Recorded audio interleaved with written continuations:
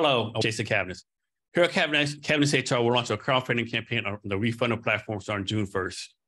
For more info, go to www.wefunder.com slash HR. Our guest today is Terri Gilbert. Terri, you ready to be great today? Oh, yes. Terri, what do you do for either for fun or for your hobbies? Oh, wow. That's like, softball it's a low, it's, it's softball, softball question. question. Exactly. Yes. Um, so I, uh, well, I'm a, uh, I'm a science communicator, I guess. Right. You know, I, I have a, I do my own consulting uh, and mostly I do that so that I can do stuff that I love to do intellectually and, uh, and then have time for all the other things that I like to do. Um, I love to garden. I have chickens and a lot of animals. I love to cycle. I, uh, I love to camp. I read all, uh, I read a lot.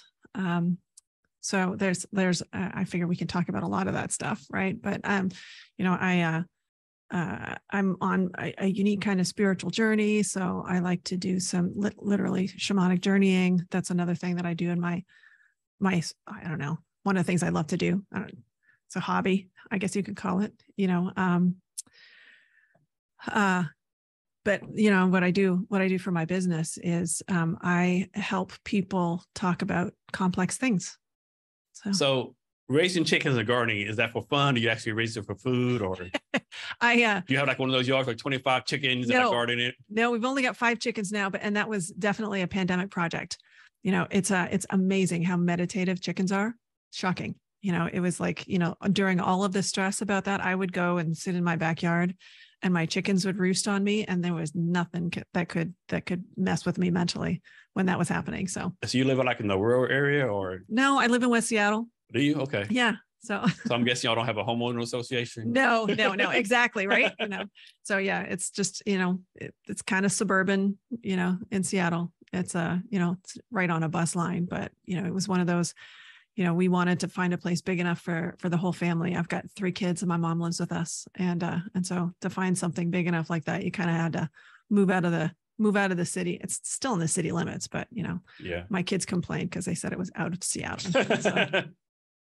so how many, I mean, just on like how many eggs do chicken lay a day? Is it the same number every day or varies? Yeah, it's um well, we've got two bantams and they they're they're good for like two to three a week, except when they're broody right and so and they're you know they're the little chickens and they they lay cute little eggs and then we've got three regular sized chickens and they lay one a day okay. and in the in the uh, uh in the long on the long days right so they they actually stop laying i don't i don't keep a light on so that they lay all okay. all through the year yeah so it's so I'm guessing, and yeah, I'm guessing y'all eat the eggs, right? Uh huh. Yeah. I, I have to imagine like there's like a real big difference in taste as far as like a one day egg out of the chicken versus store bought, right? Absolutely. It's huge. You know, uh, my kids, when they go uh, visit, you know, my daughter's job is uh, is to house sit. And so she's, when she's hanging out at other people's houses and they still have eggs, she's like, it's just not the same.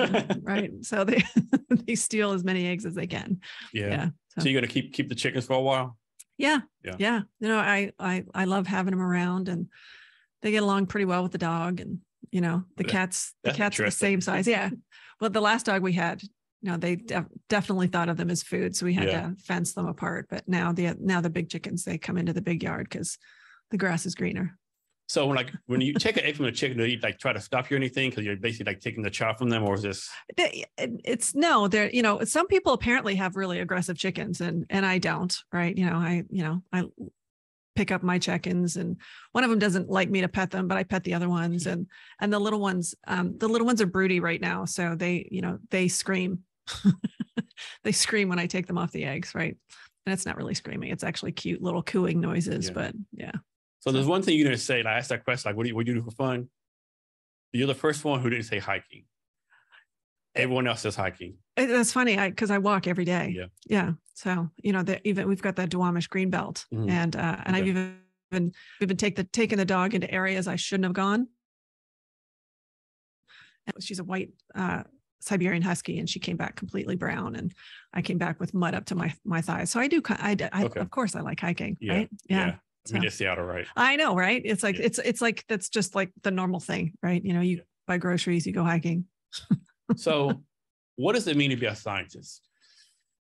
Um, I think basically if you're curious, if you're curious about something and then take a systematic view to try and understand what it is, right? And so there's the, you know, there's the scientific method, you know, develop a hypothesis, do experiments, do that whole thing. But I think um, I like I encourage kids to like just explore their curiosity, you know, like to to, keep asking the question why.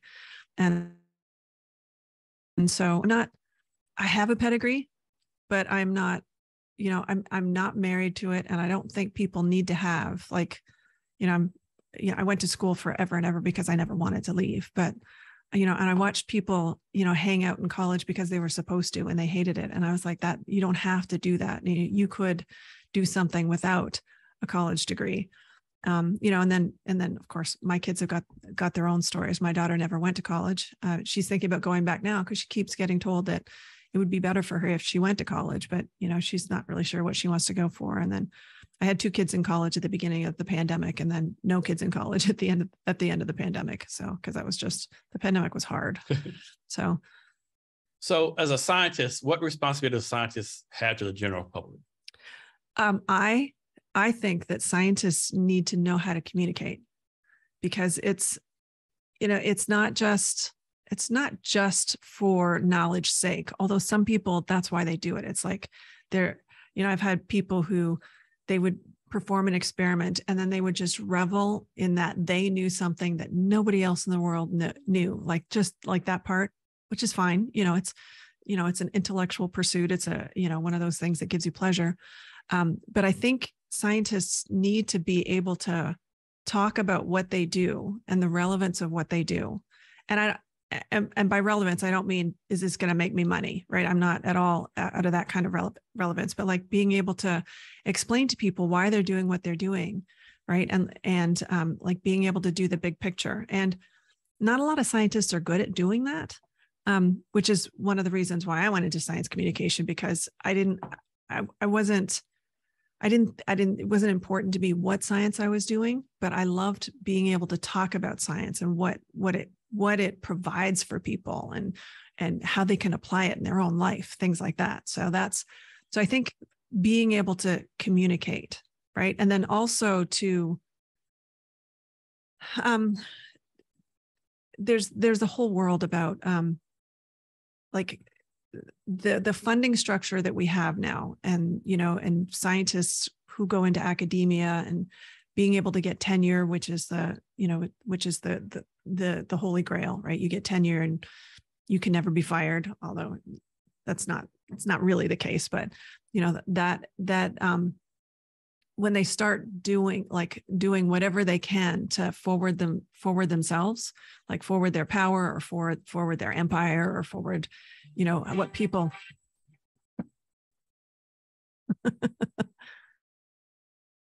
people think of them. Right. Um, I think that when you start, um, has what's the best way to say this? When you have a lack of integrity. no worries. I I put my phone on do yeah, not disturb for that on, one. Yeah, my phone is on do not disturb. Oh yeah, there's if there's people on your list that are emergencies. Well, this is a, a bank a bank. bank. Yeah, so I don't know how it's making it through. Wow. Scammers are getting good these days, aren't they? Yeah, yeah. So off the sub, so I'll come back to what you say first. Yeah. So Paul sent me a message, right? Hey, I'm changing my number, right? Just so you know. Okay, no problem. Three days later, I got a number from her area code. Oh, must be my daughter with no number. It was like a scammer it might be a coincidence. Like, man, like you're you're good. Like, you know, exactly. you're you're good. You're good. yeah, it's amazing the the uh the things that come up on my phone after I've just been talking about it. So so um yeah, so there's forwarding forwarding your position is um really not I I don't know I guess I guess eh, you know human scientists are human beings, right? And there's always jerks, uh, human beings. Like there's a whole range, right, of experience, right? And so, um, but but um, uh, doing something like having a lack of integrity and forwarding yourself you know, I don't think that should happen, right? You know, doing doing science to to forward uh, forward your company's product, or um, or even doing science to forward your own idea, right? That was one of the that was one of the things that I got really disillusioned by at one point. You know, one one of the things I got you know disillusioned by was, you know, I I wanted to I became a scientist because I wanted to find the truth, right? And then I realized you're not finding the truth; you're just finding stuff out and um and i was one of the things that got me really upset was that people really don't really don't care care about evidence right? That that whole thing. And uh, i was like well what's the point of having evidence if people don't care about it? And then the other one was um uh that um when when you're when you found the result to an experiment right? You've got the result, and then and then people do what people always do is they interpret it right? And i and i watched the exact same result get interpreted in two completely different opposing ideas and i was like wow there's no yeah there's no anything truth. to support their own personal bias yeah yeah and sometimes you don't do it on purpose right you know that's the whole unconscious bias thing but um to just to forward your to forward your ideas and you know that's you know some people are just smart enough to be dangerous with you know yeah i know one criticism of a lot of people or scientists are doing pandemic like a lot of them had this like came across so arrogant. Like, I'm the scientist. Don't question what I'm doing. I know better than you. Like, yeah.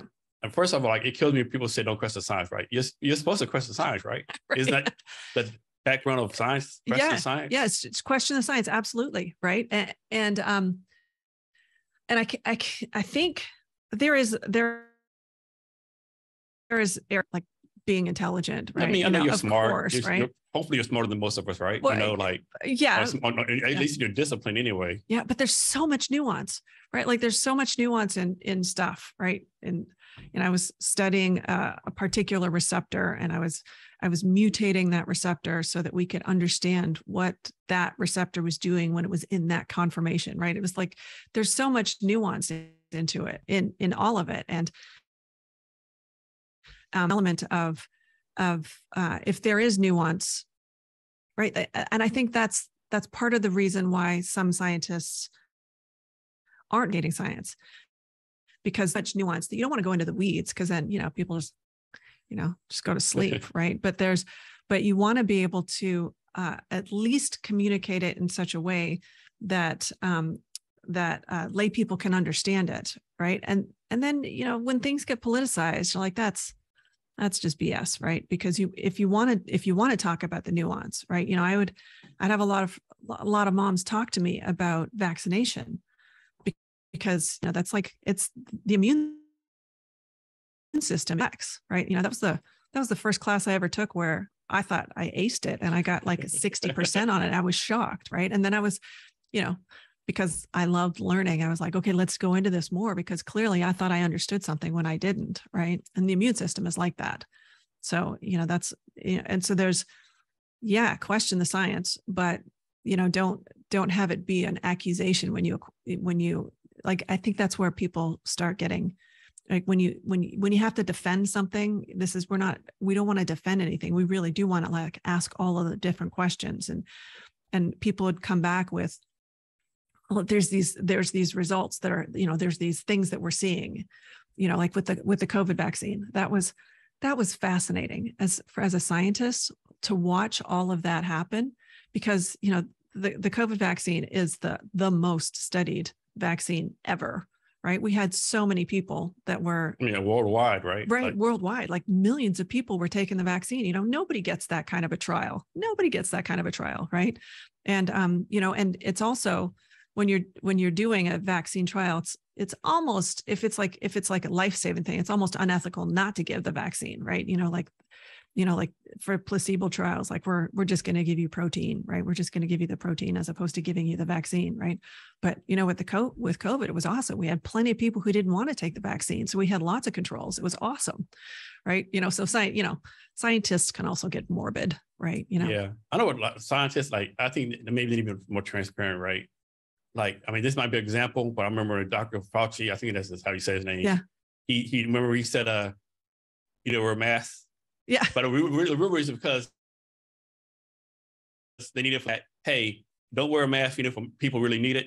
I think everyone was okay, cool, we got it. Yeah. And when you get some else work, but it's he just put, and then I think his credibility well, things got things got taken, after that. Well, things got taken out of context too, right? You know, there was a lot of a lot of things where, um, it you know, it's it's just the half of what was was said, right? You know, or like maybe the whole conversation was was about, look, we don't have any, we don't have any PPE for the medical, so and we don't really need it for us. And you know, it turns out that the cloth masks didn't work that well anyway, but yeah. you know, it was better than nothing yeah. at the time, right?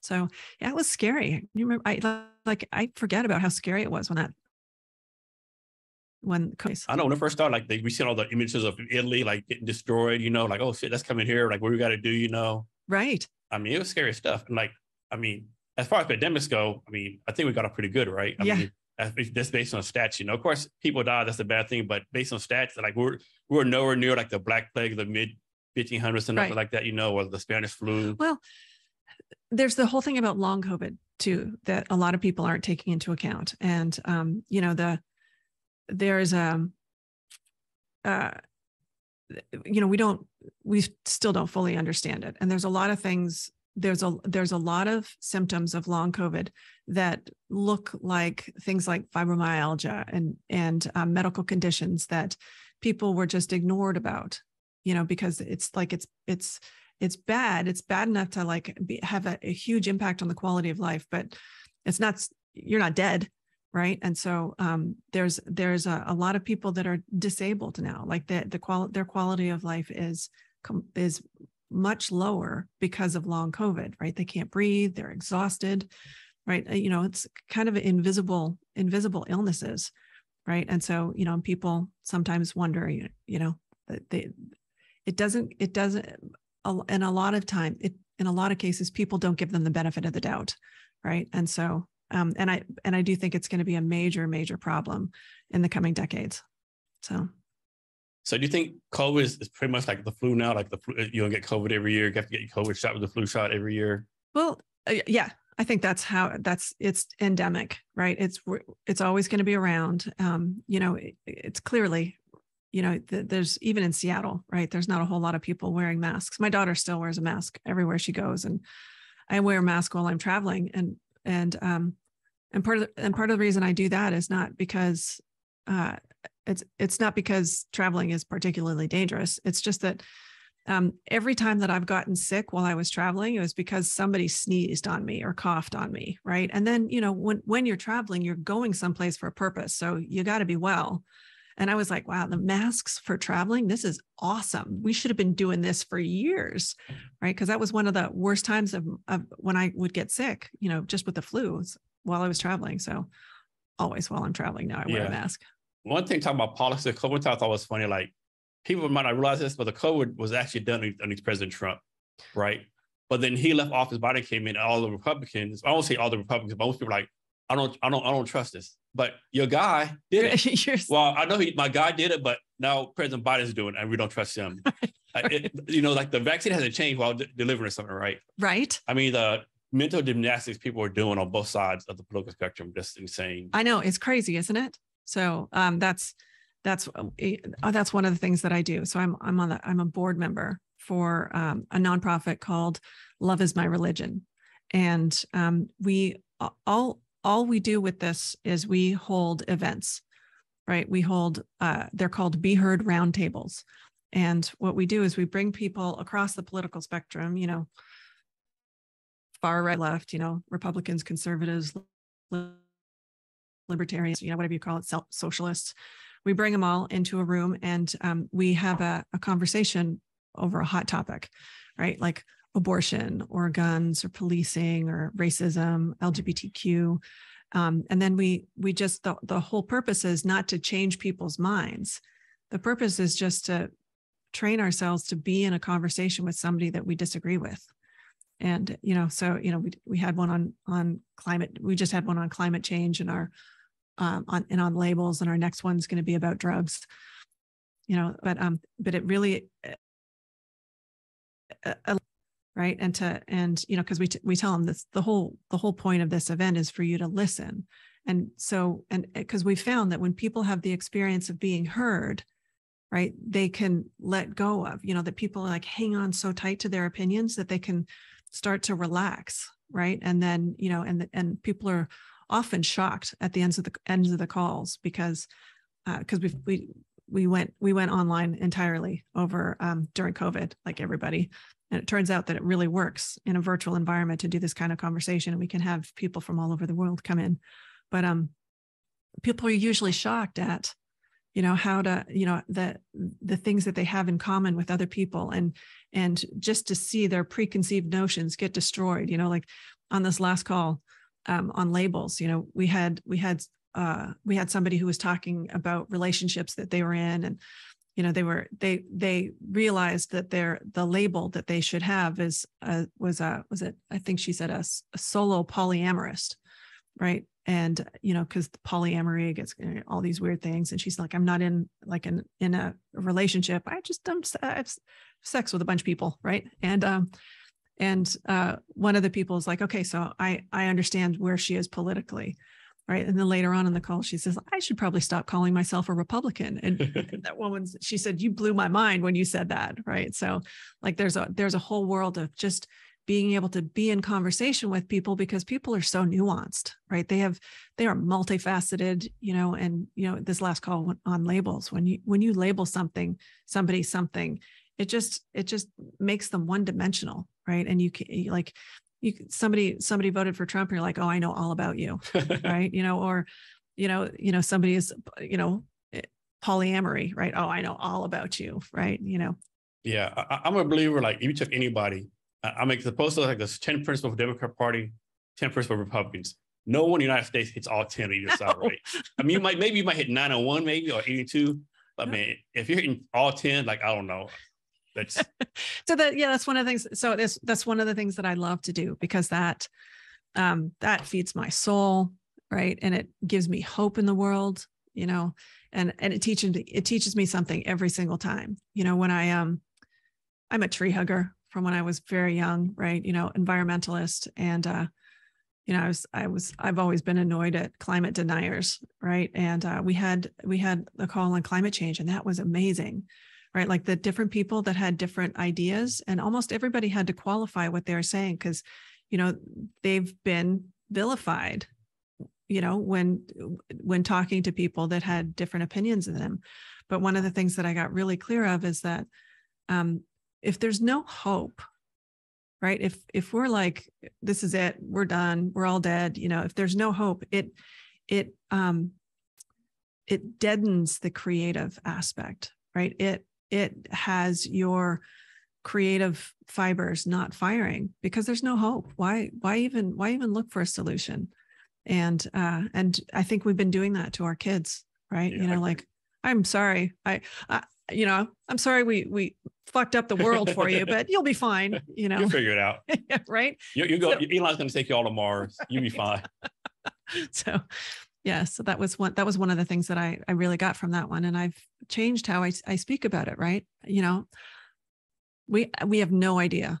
None of us can predict the future. No.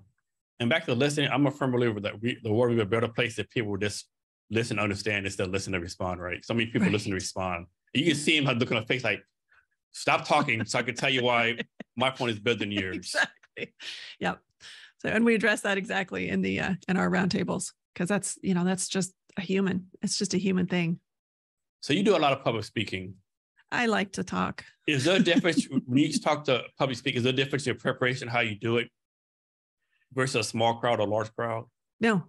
Same, same process, same everything. Yeah. Okay. Yeah. Um, mostly when I when I have when I'm talking to people, if even if it's uh, not so much if it's on one on one, but if it's uh, to a group larger than that, um, I, I'm always wondering like, what's my intention?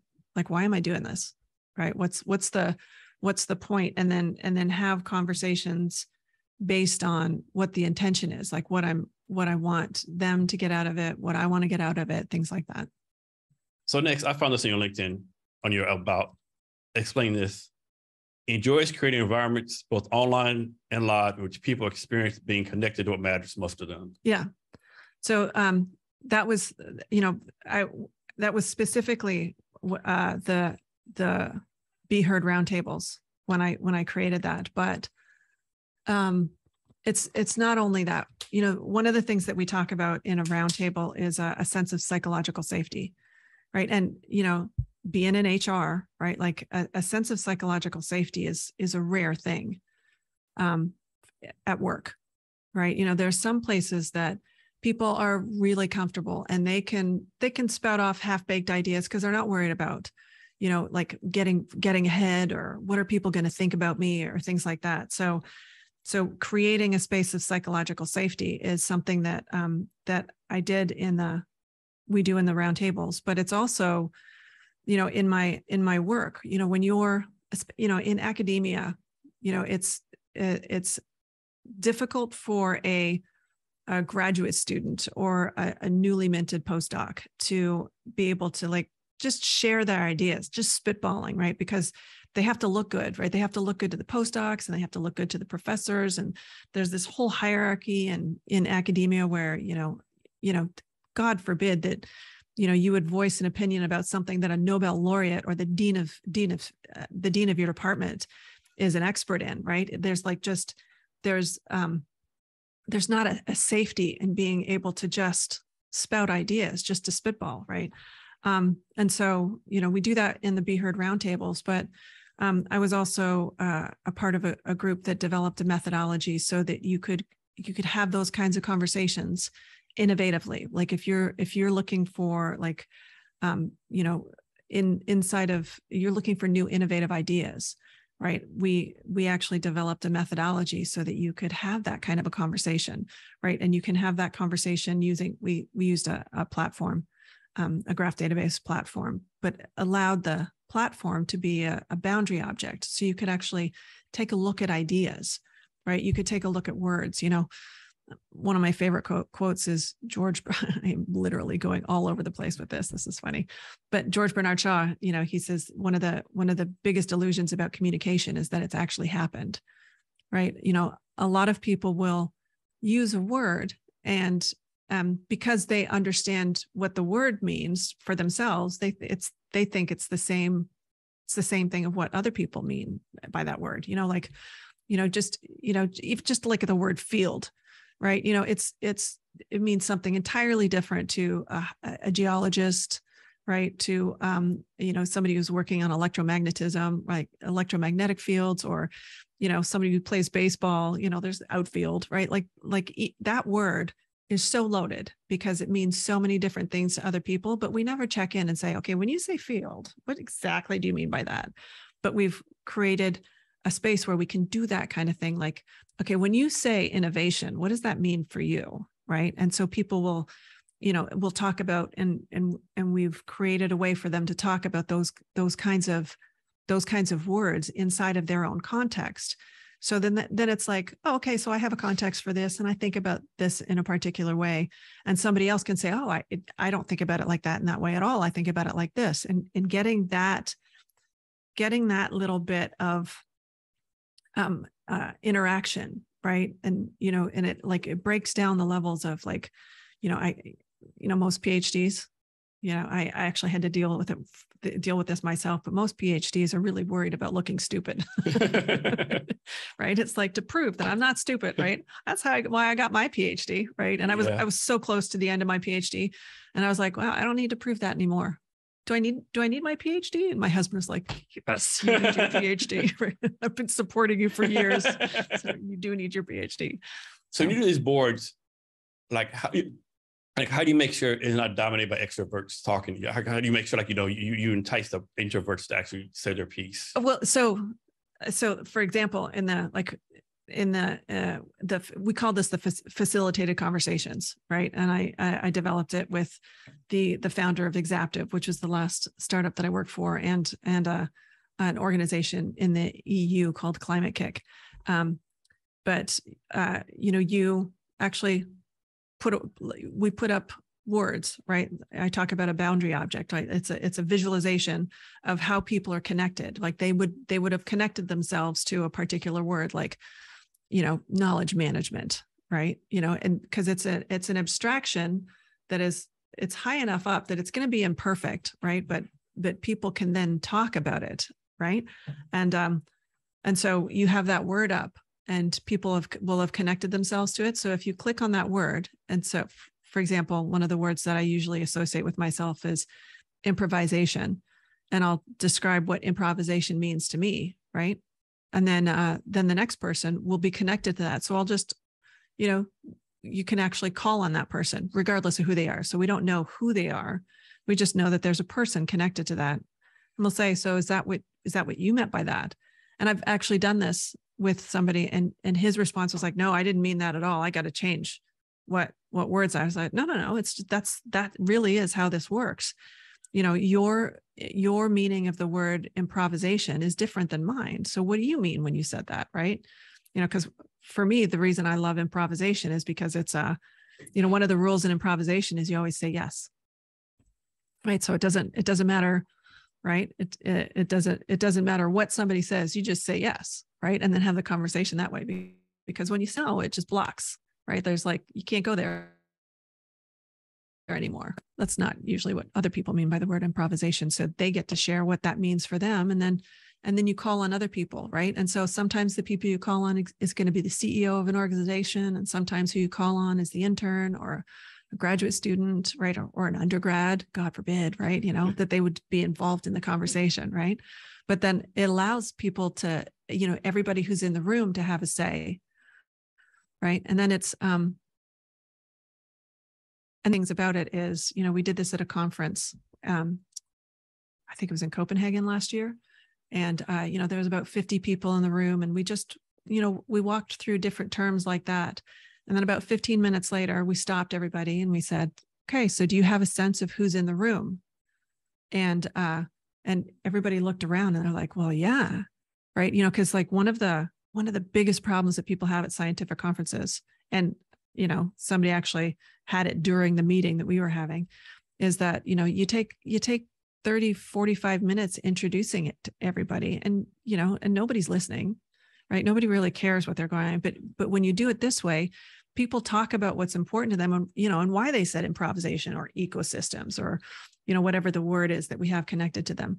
And um, you know because they're they've got their own context that gets laid out. And so most people had a sense of well i know i know what that face looks like i know their name and i know what they're what they care about right they don't they don't necessarily know their title right? Or their pedigree or where they work or any of that, right? But they know the important thing about them to be able to have the kind of conversation that sparks innovative ideas.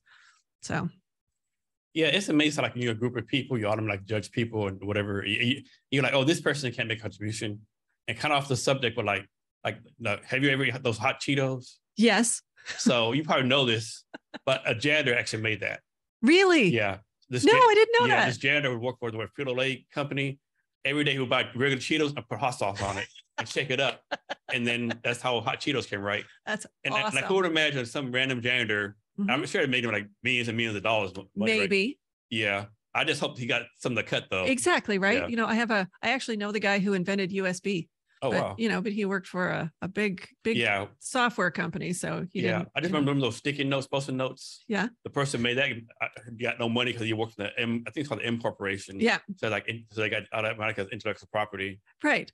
Right. And so yeah. So I I do hope that people, and that's one of the things that um, you know, the the all oh, I, we can start talking talking about you know the the way the the way it's set up you know people expect that ideas should be free right? Like i don't need to pay you for your idea except like that's the sometimes that's a hard thing to come up with. So how do you how do you give um, people credit yeah. for I mean, their ideas? a bonus or something right? Or like, something or, yeah. or, or, a cut of the because mm-hmm. um so netflix has a movie about when michael jordan signed with nike long back in the day. Yeah.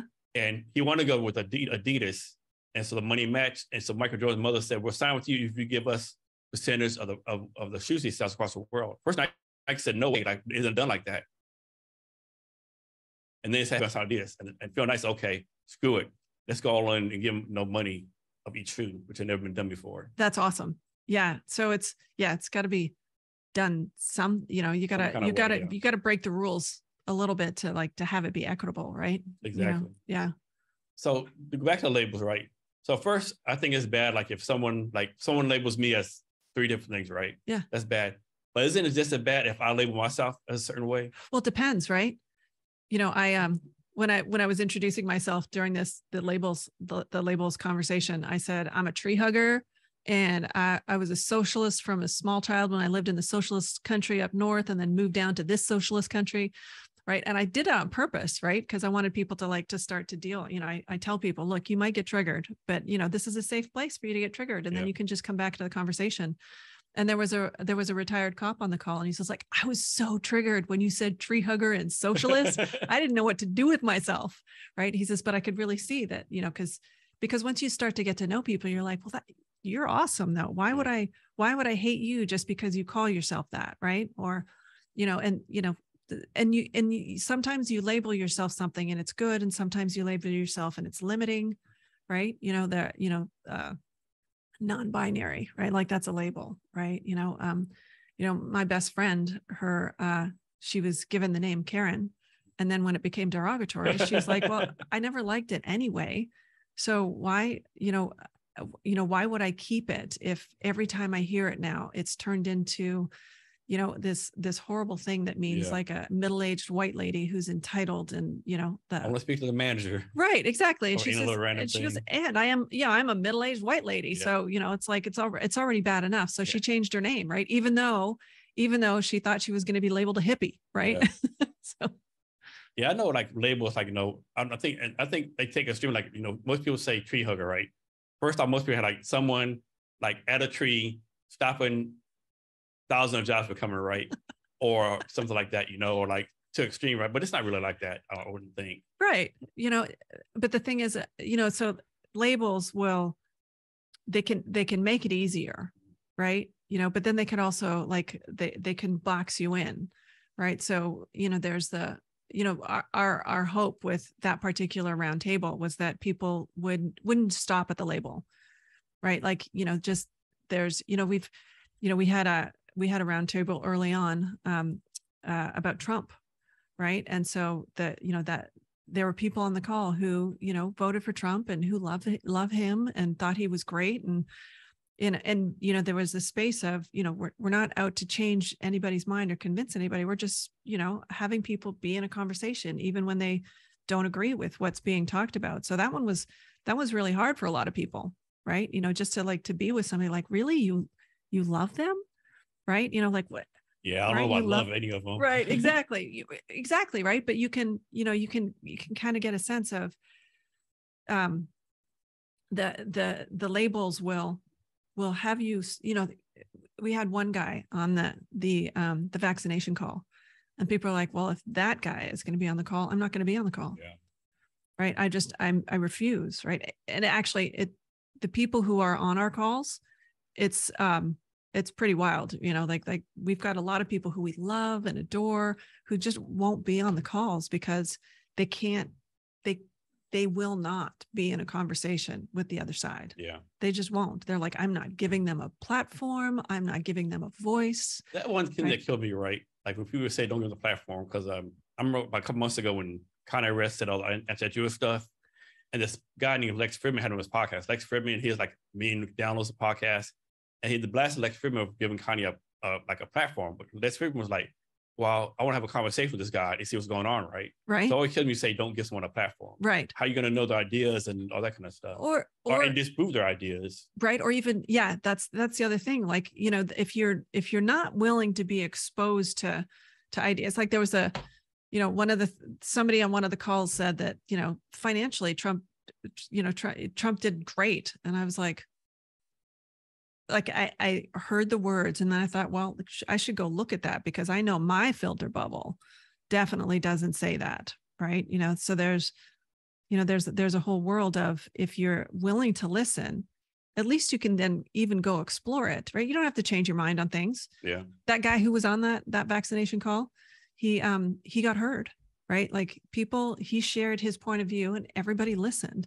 And he'd never had that experience before being heard right and then somebody and then uh, and then somebody else on that call said well there's a voice that hasn't that hasn't been heard yet that and it's not necessarily my voice but i think somebody needs to speak for this point of view and she just talked about how vaccination protects the community right? Like the whole and and uh, and it was, you know, people heard heard immunity a lot, the whole thing, right? During that, but because because this gentleman had been heard on the call, he'd never actually really heard that argument in a way that made any impact, and he was like, "Wow, I got to stop being such a dick on Facebook."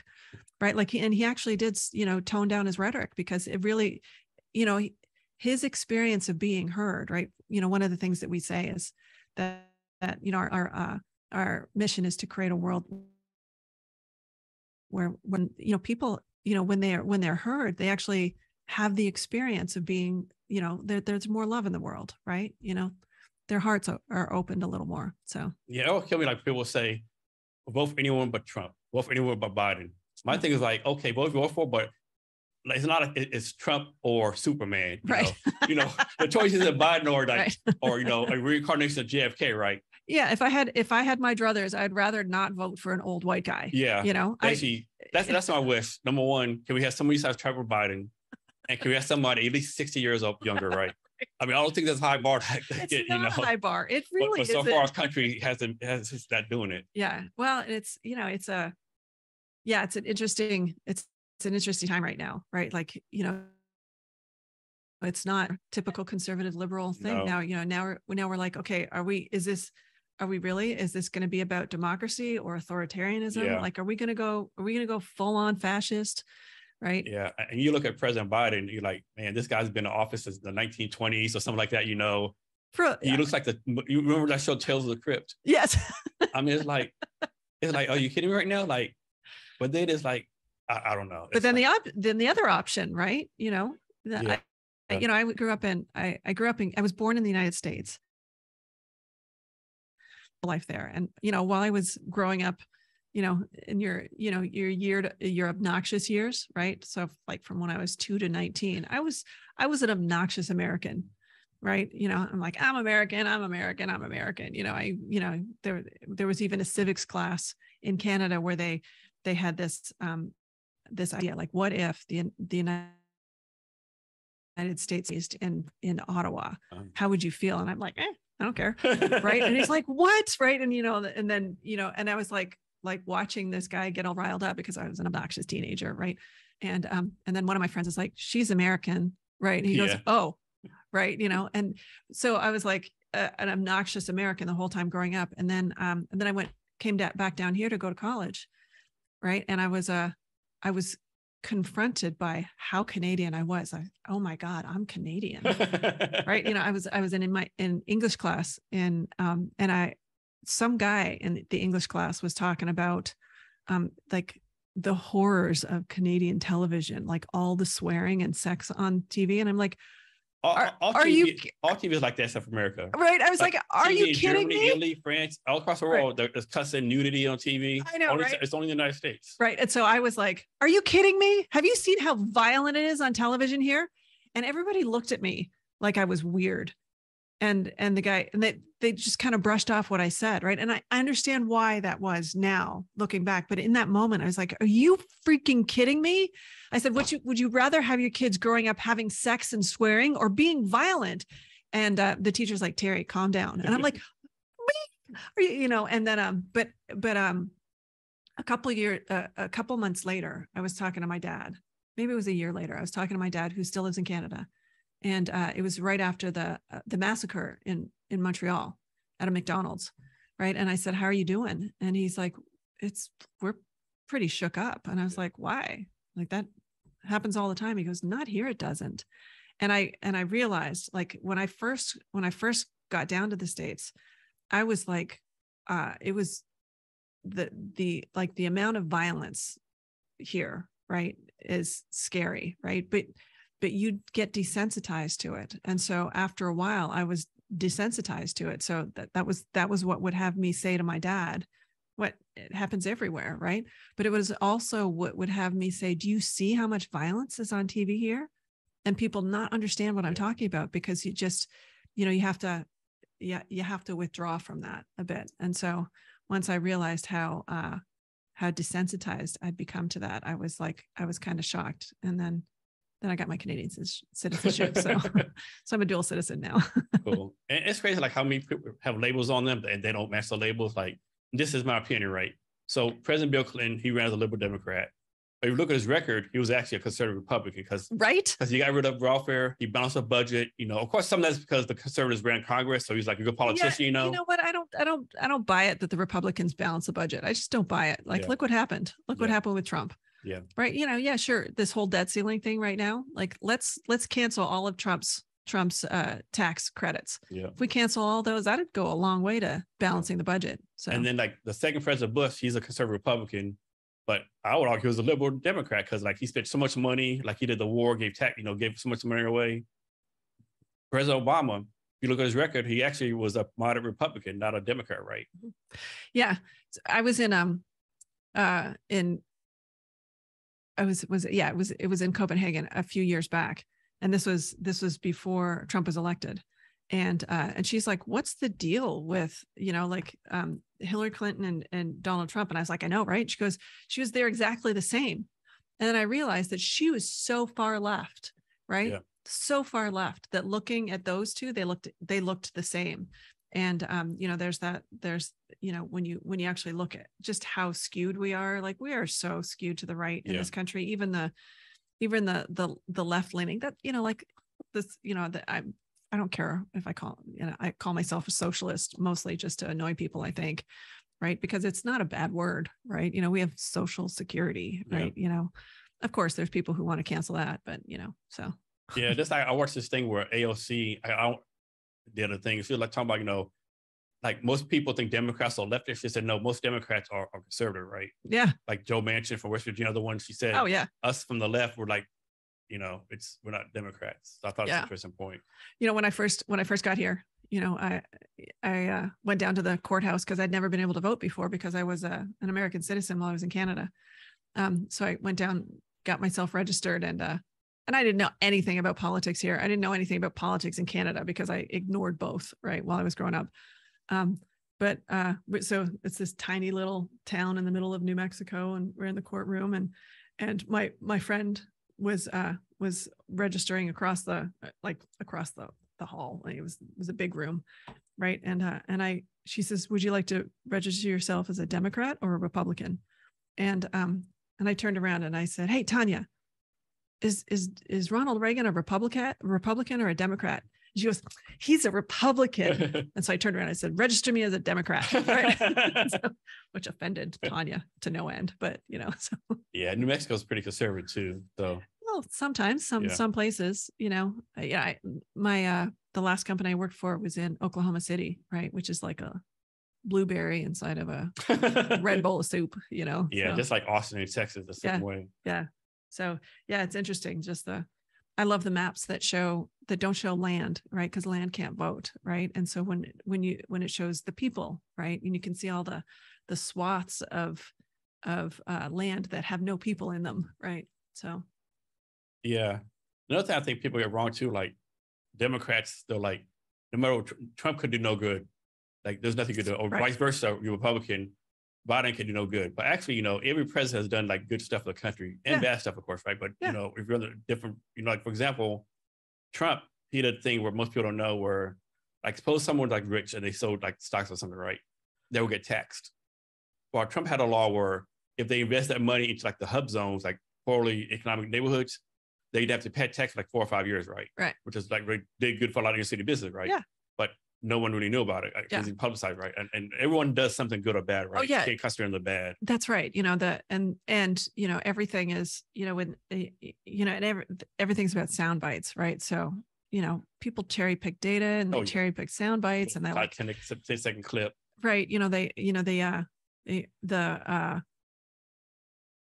the I guess the left took this statement from DeSantis's lawyers about what does woke mean, right? And it's somebody, you know, somebody who is like, I can't remember what it was, but they, but um, the the thing that he added to the end of it was that they they take advantage and they think that they don't have to follow laws because you know whatever right but they just took the front part of the statement to make it make them look make them look bad right that's what you know people are people are doing that right so i find i can't i can't watch news much you know i don't i don't watch I don't watch news, right? And I and I don't spend a whole lot. Of, I like I about once a day I'll I'll check the check the news feeds, but I I do it like on the AP and BBC yeah. and Al Jazeera just to get like some. Yeah, I think Al Jazeera is a really good news source. Yeah, I like them. Yeah, versus some other stuff over here. I remember there's like President Biden with summer summer event, and one one news or source like basically said President Biden saving the world. Other and, and other ones basically said President Biden sending us all to hell. Exactly, right. Same picture, same, same everything. That's that whole thing about science that I was telling you, yeah. the exact same thing. And then people just spin it the way they want to spin it. And so it's, you know, um, you know, I I moved up here because I really like being in my liberal bubble. I do, you know, even though my in-laws say that we live on the left coast. You know, I'm like, yes, yes, I do. yeah. So back around around us, like my point of view, like I think everyone needs to be a environmentalist to some extent, right? Like for me, like I want clean air, clean water, you know, all that kind of stuff. Do we really, really need like um, oil coming from Alaska and Prudhoe Bay? Maybe we do, maybe we don't, you know, because like I, I, I grew up in Odessa, Texas. There's so much oil in the Permian Basin, right? Like they've calculated hundreds of years worth, and they discover new oil fields all, all the time. Right? Why do we need this different oil? But on the other hand, like, and I'm talking generally, like, if you're an environmentalist, do you really want to get rid of everything? Right. Like, do you want to go back to the 1820s mm-hmm. where you like washing, you know, using outhouses, no electricity? Right. Well, there's this, there's the whole thing of nuclear as mm-hmm. well. Right. I mean, you know, it's it's that's clean. The safest, that's the safest. And it's clean. However, it's really clean. Yeah. It goes down, it well, goes it's, down. It's safe until something goes wrong. Yeah. Right. You know, but that's the same thing with uh, with pipelines, right? Yep. You know, and so. But see, people don't realize like when, with like there's a Chernobyl, Three Mile Island. I'm sure a couple are missing, you know, but like it's once in a generation, right? Pretty much once a blue moon. Mm-hmm. But it's bad, it's bad, right? Oil, like oil pipes leak all the time. Yeah. You know, Exxon Valdez, you know, it happens. Blue Horizon. Yeah. you know, you know yeah. All that stuff. It, it happens a lot, right? Yeah. So yeah, exactly. So it's you know, um, I was in um I was in Vancouver uh to go see Paul Stamets and uh, you know so now we'll meander into psychedelics so um, it was a the, the conversation was called how psilocybin can save the world and um, and he had uh, an elder from the haida tribe with him guja and uh, and that was it was so impactful having him there right and it was it was actually really great because first of all it was like in this scientific conference scientific light conference and there was 2500 people in there and guja sang a song for him right? You know, just just blessing him. And uh, Paul Stamets said it was one of the most impactful things that's ever happened to him, and he's gotten a lot of awards, right? Because um, because he's spent his whole life just trying to get people back to nature, right? And um, you know that one of the things he talked about psilocybin is it's it's highly correlated with people being um, to nature relatedness, like having people get connected, get connected to nature. So, and this, you know, this goes back to the other thing about where people are connected to the things that they love you know my my purpose in life is that people experience being profoundly connected right and so that you know connected to what it's always right you know the you know it's also I, it's also why i like graph databases right it's all it's all about connections um but you know connected to people or or connected to the planet or you know connected to to you know what it is that they're doing like really being engaged and and and, um, and loving their life. It's the whole thing about being great. When you said that, right? I was like, you know, of course, uh, you know that's that's why I would be here, right? Because people can become connected to what it is that they that they really like, um, and uh, and when so that that whole that conversation with Paul Stamets was pretty was pretty remarkable, particularly because Guja was there, and that's one of the things he said is like people just aren't connected to nature anymore. Yeah, they're just not. Yeah. In terms of psychedelics, like first of all, like I have no idea how like marijuana and psychedelics are like a class one drug, right? Oh, I do.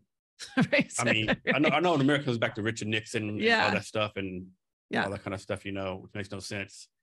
But, but well, it does make a make sense from a, a, a particular point of view. Like we are losing, we are losing the job force.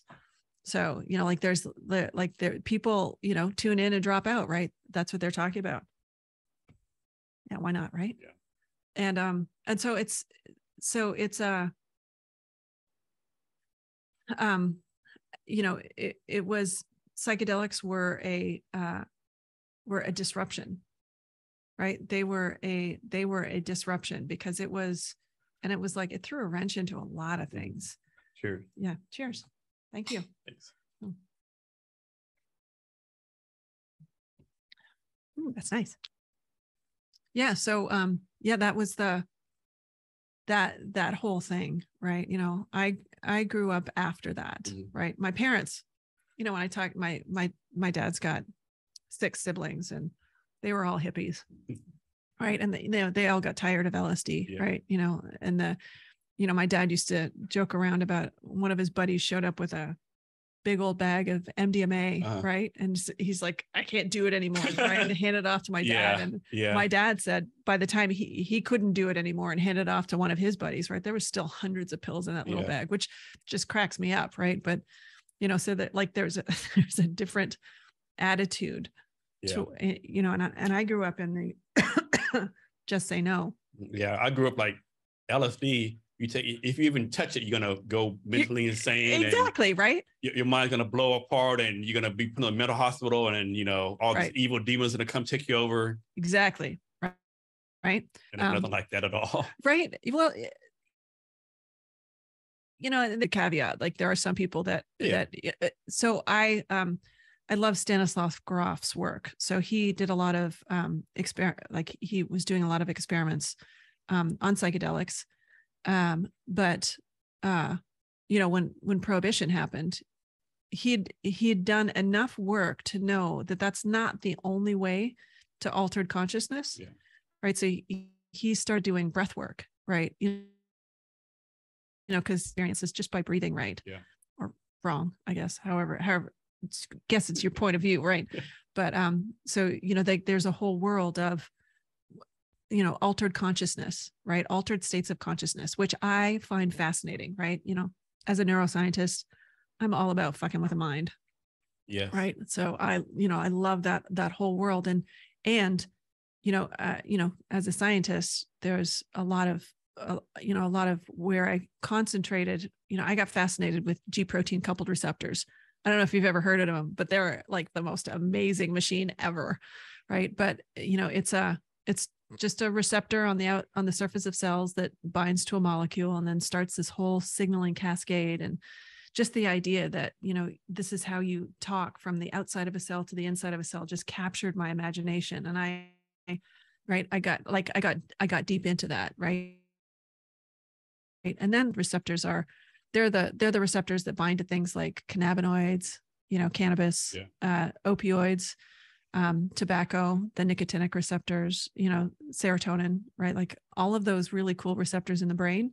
Not all of them, but most of them are G protein coupled receptors, nice. right? And so, you know, I, I remember the first time I st- I started a, a postdoc at the at, at UW here when we moved to Seattle, and uh, and a receptor, right? You know, and then uh, the my my advisor walks into the lab and he says, okay, who needs cocaine? And I was like, oh yeah, I work in an opioid lab, right? You know, it's like there's like, you know, like there was this whole world of like, wow, I forgot that that's like there's all these other impl- implications yeah. to to the opiates, right? And so, you know, that was one of the receptors that I worked on was an opiate receptor. Yeah, and I know a lot, a lot of people are getting more open like psychedelics. Like most people don't know this, but like, of course, Texas like really conservative, right?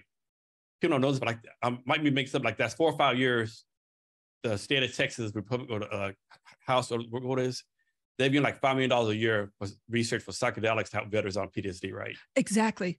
Right. Yeah. So there's a there's a whole world of, you know, so um not many antidepressants work. Right. And you know, when when my um when my daughter went on antidepressants, right, uh the her doctor just just ask her how they how they work right? She'll she'll be able to tell you how they work right? And so when she asked me i was like we don't know how they work right? You know it's you know the so just to give you kind of an example when you close your eyes right you know everything goes dark right? Immediately that's a g protein coupled receptor right? It's like it happens like this right? And there's some that take minutes and all that but there is no g protein coupled receptor that takes weeks to work. So that's some other process going on right? Like that's like gene expression like you're actually changing your mind right? For the for the drugs to work. We're not exactly sure how it is. We know some that has something to do with the serotonin receptor and all that. But so when we i was what what completely um, captured my heart and soul and mind was um, psychedelic therapy that actually works, right? You know, there that you know there one of the things you could say about a lot of mental disorders is they that they have in common is that you've got it's a rigid way of thinking about something about yourself mostly about yourself.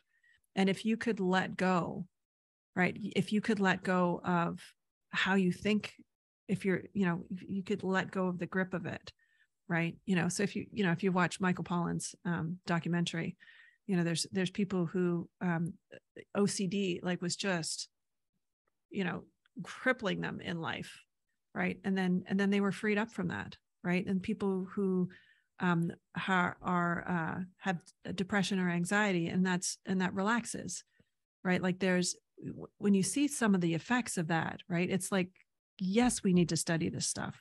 Absolutely we need to study this stuff. And then when you start to look at the different the, the different things that we can do like mdma to treat ptsd it makes total sense right? You know ecstasy is you know you're you're you're experiencing love but then you're also dissociating a little bit. So so you don't you know a lot of how we get over the over things right? You know just expose yourself to spiders more and more and it does it's not so bad right?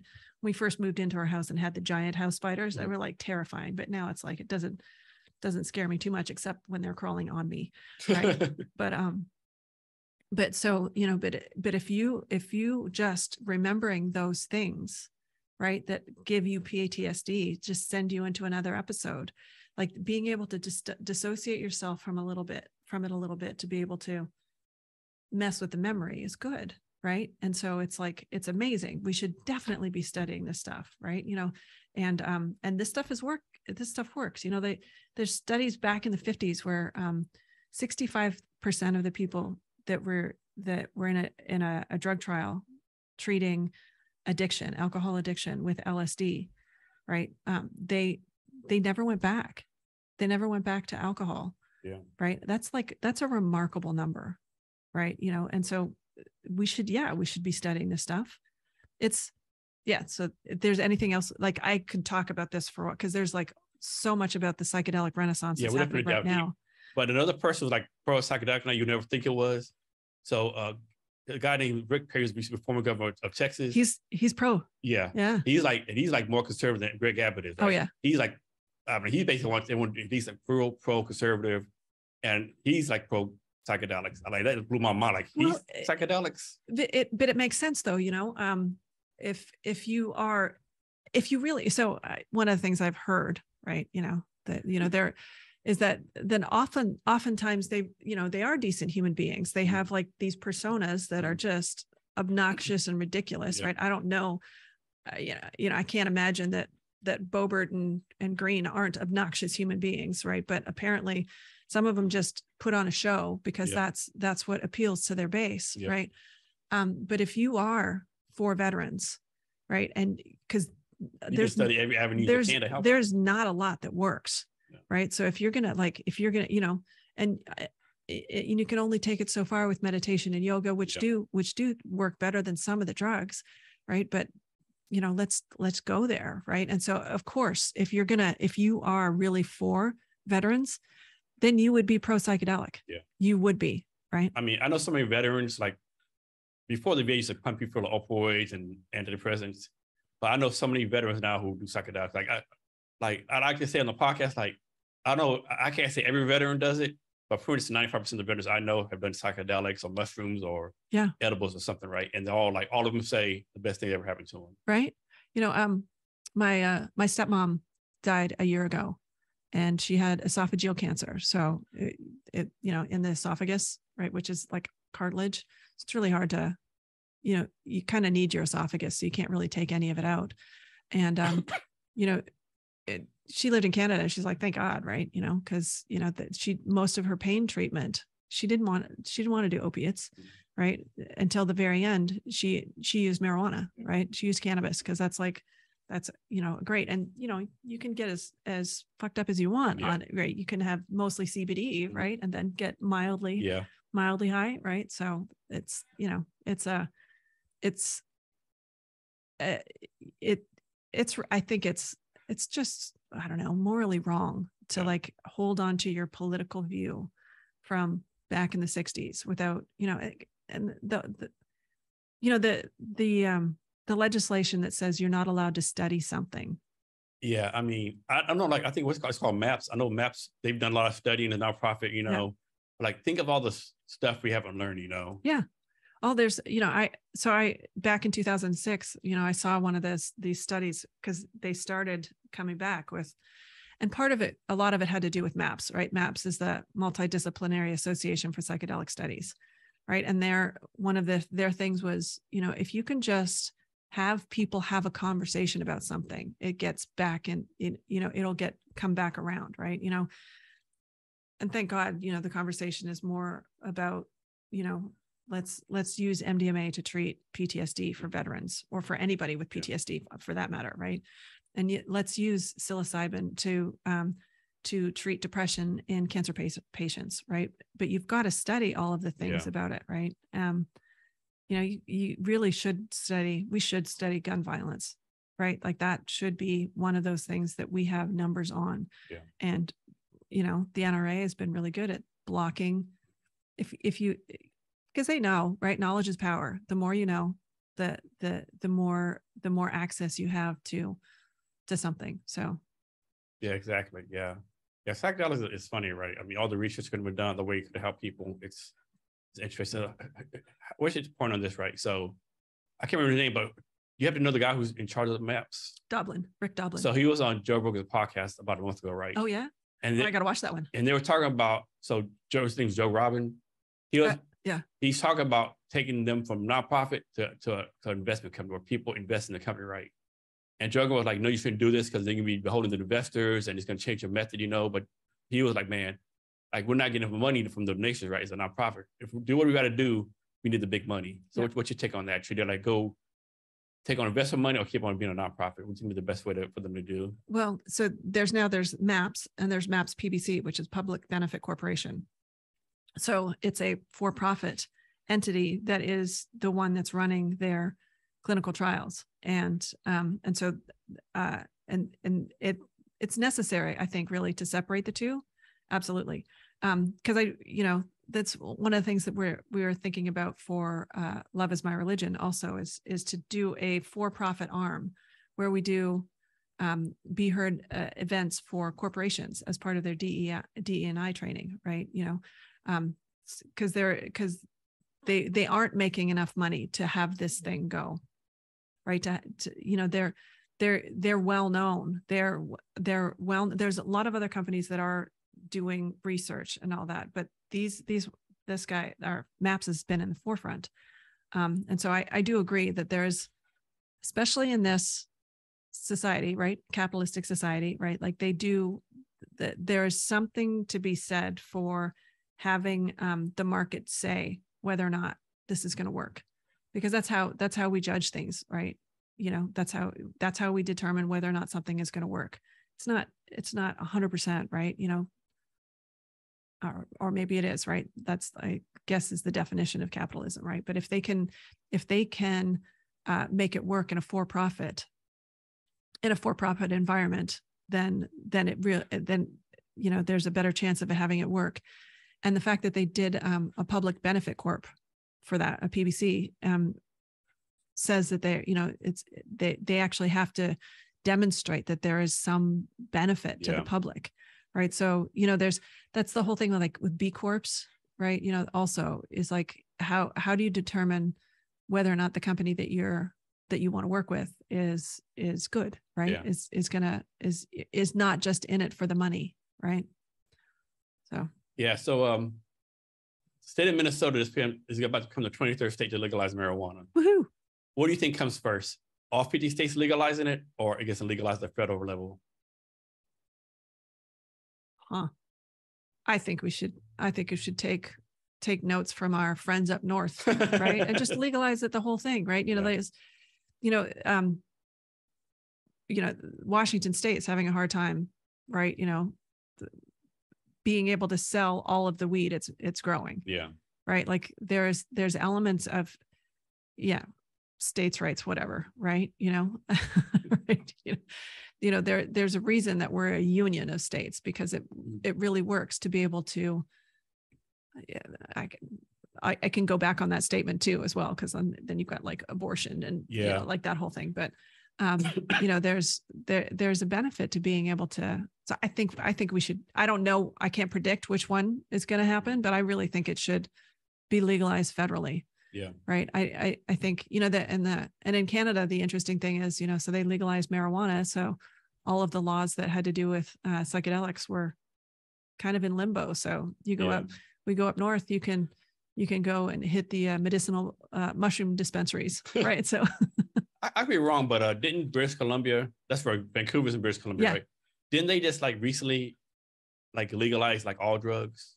They decriminalized. Decriminalized that's what yeah it. So, so it's a difference. Yeah, it, it is different you know? It's it it just means that you know they're they're not going to they're going to go after the more heinous crimes right yeah. which is i think is wise yeah. right? You know there's there's the the you know they did they did um was it i think it was timothy leary got because because psychedelics were still legal mm-hmm. he got he um it was a marijuana charge that that they, they were able to arrest him oh, for. Oh, wow. Right. You know, so yeah.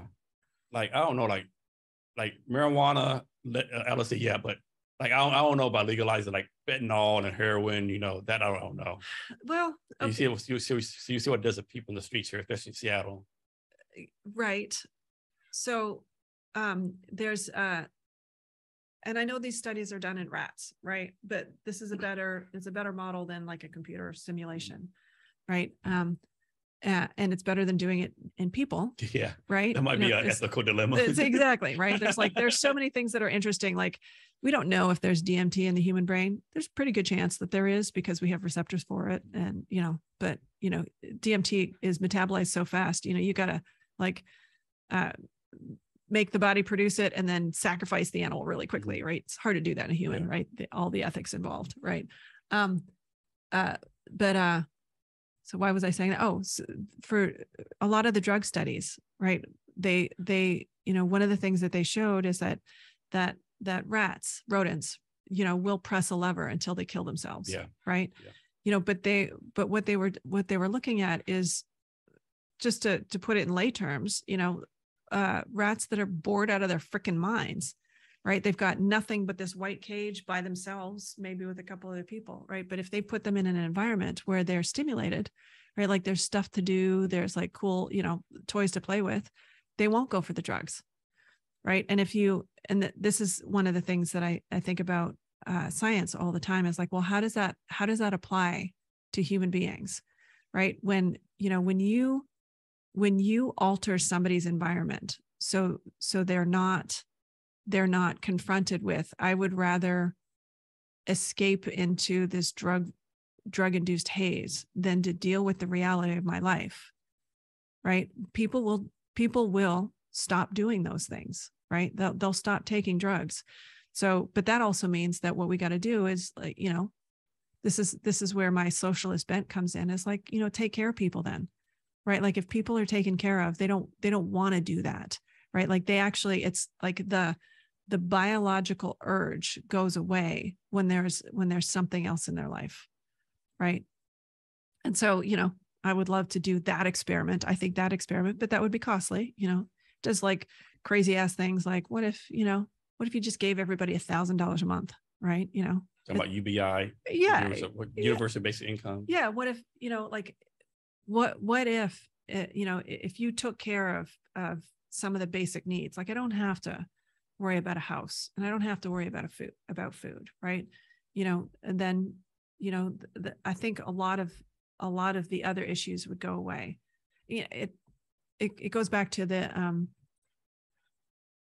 when we when we were studying psychedelics there there was a um uh they used to call it uh, psychomimetics, right? Which means that they it it uh, induced psychoses, right? Like that's what they thought was happening, right? You know, they the the theory behind those studies, um, the alcohol studies, was that um, LSD would induce the DTS, right? It would induce a kind of psychosis that would make the people, you know, that like I don't I don't want to go there, right? Like sometimes DCs, you know, you hit rock bottom and there's the only place to go is up, right?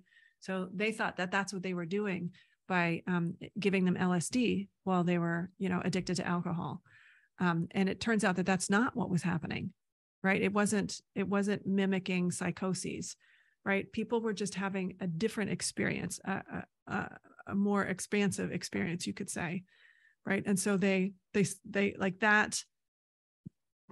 Excuse me. That was a theory that got thrown out because it was okay to study it right? You know that's that's what you do in science right? You have a theory you test it and you're like wow that's not that's actually doesn't appear what's happening with people. So what is happening with people right? You know is it the mystical experience all of that stuff right?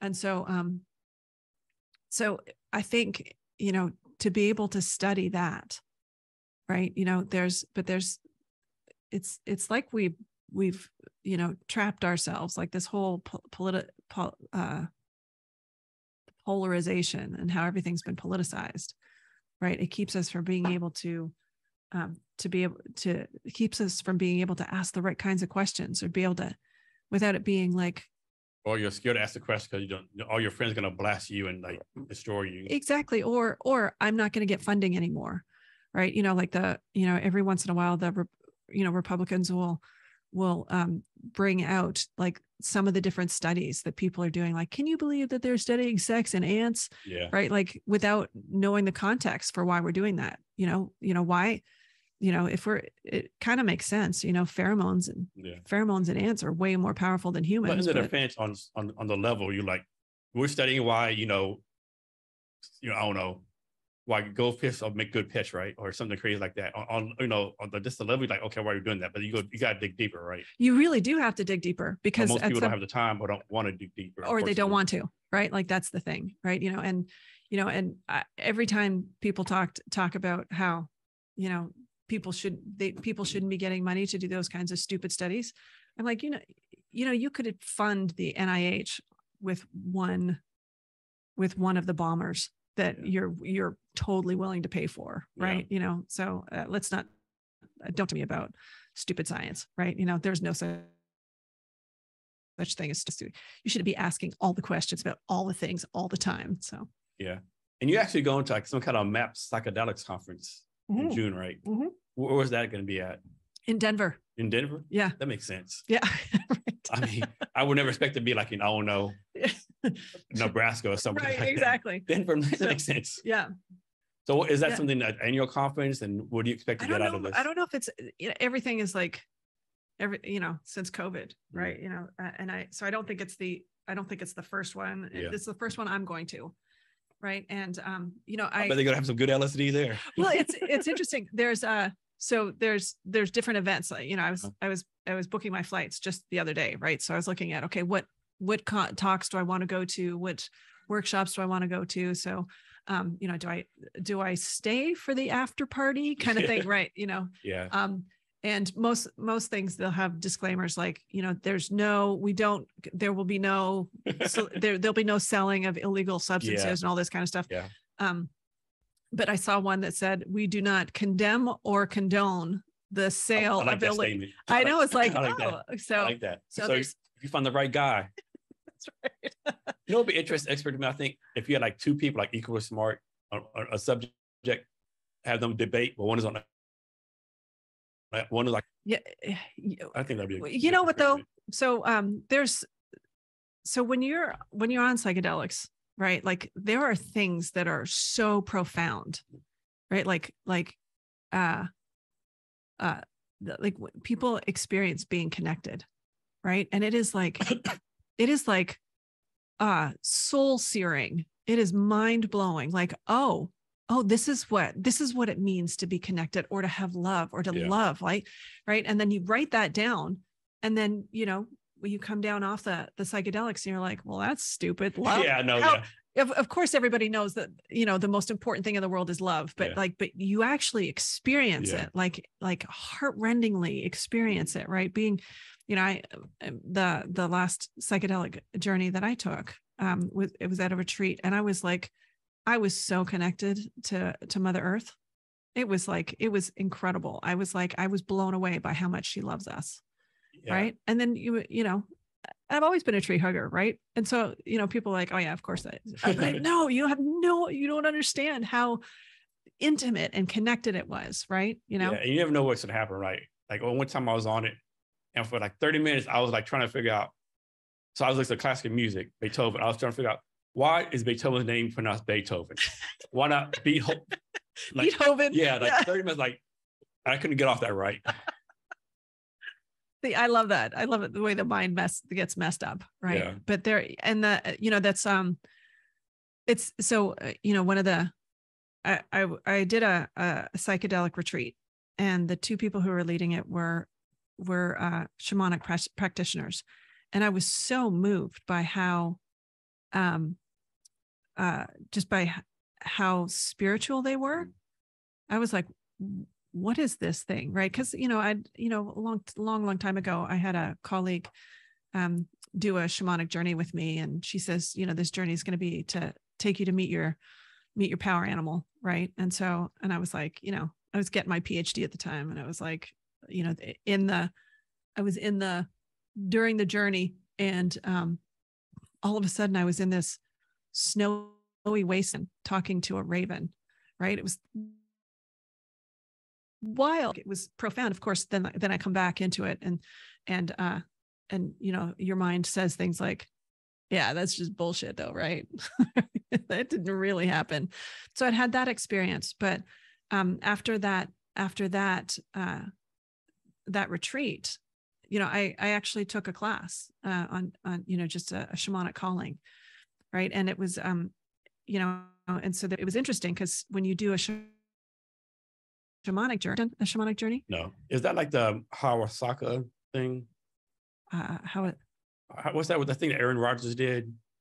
No, that's ayahuasca. Ayahuasca, yeah. Yeah, that's that's also psychedelics, okay. right? So I haven't done that yet, but yeah. that is on my bucket yeah, list. I know two people have done it. One here and one down in Mexico. They both yeah. like said it's like yeah, like the bee's knees, as they say. Yeah, exactly. Like if you get an opportunity, take it, right? But and I can't say the word to save my life, right? Ayahuasca. Yeah, ayahuasca. I can't yeah. say it. If someone said say the word correctly, you're gonna die. Well, give me the gun so I can just kill myself. Yeah, I'm, I'm not gonna say yeah. that. Um, yeah, the uh, so so uh, on a shamanic journey, it's it's sound driven. So remember, I, I said there's other ways to altered states, mm. right? You know, breathing, and so this is sound driven with a like a drum. Um, and so you know, you do drum beats, and it actually does things to your brain waves. I, I think it it takes it into the gamma. Um, but then you know, so you you you have an intention right? And then, you know, uh, do you meditate at all? I try once in a blue moon, but not not yeah yeah.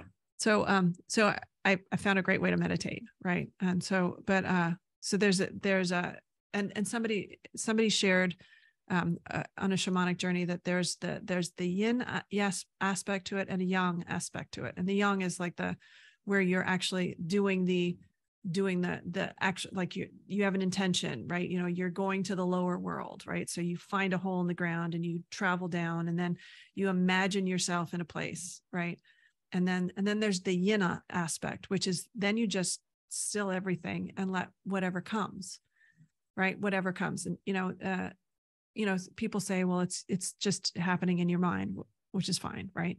You know it's just happening in your mind or you know um and so you let whatever the message is to come through and usually you come for a you come with an intention right?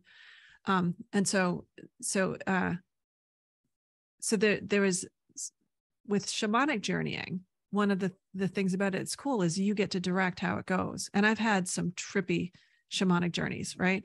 You know like i there was there was a there was a there was a, a journey it's called a dismemberment journey where you know the fact that i'm a scientist actually really helped right? They said they said you know the the intention was to discover what's in the way of you and and your own divine presence right? And so you know all this stuff came up like there was relationships that were incomplete in my life. And and and as soon as i let that go go it's like getting porous right? Holes holes in me. And then all this stuff about christianity came up and all these christian you know and, and all that that went away. And and then there was then there was a point where there was just nothing right?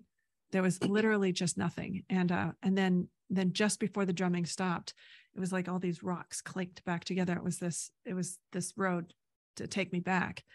And um like the like i, I actually experienced myself become complete right and it was and it was a it was trippy it was awesome right you know and so but with a with a psychedelic journey you're not you know the mushroom is taking you or or whatever the mm-hmm. or the molecule the medicine the medicine is taking you on a journey for you to see it's going to show you what it's going to show you yeah. right and you just have to be open to your right that's the that's and, the and, whole thing. Yeah and you have to like you can't look away you gotta you know take it as far as you can. Well you know the the first psychedelic journey i did i was um you know I, i've discovered start you know on this particular path just how in control i like to be.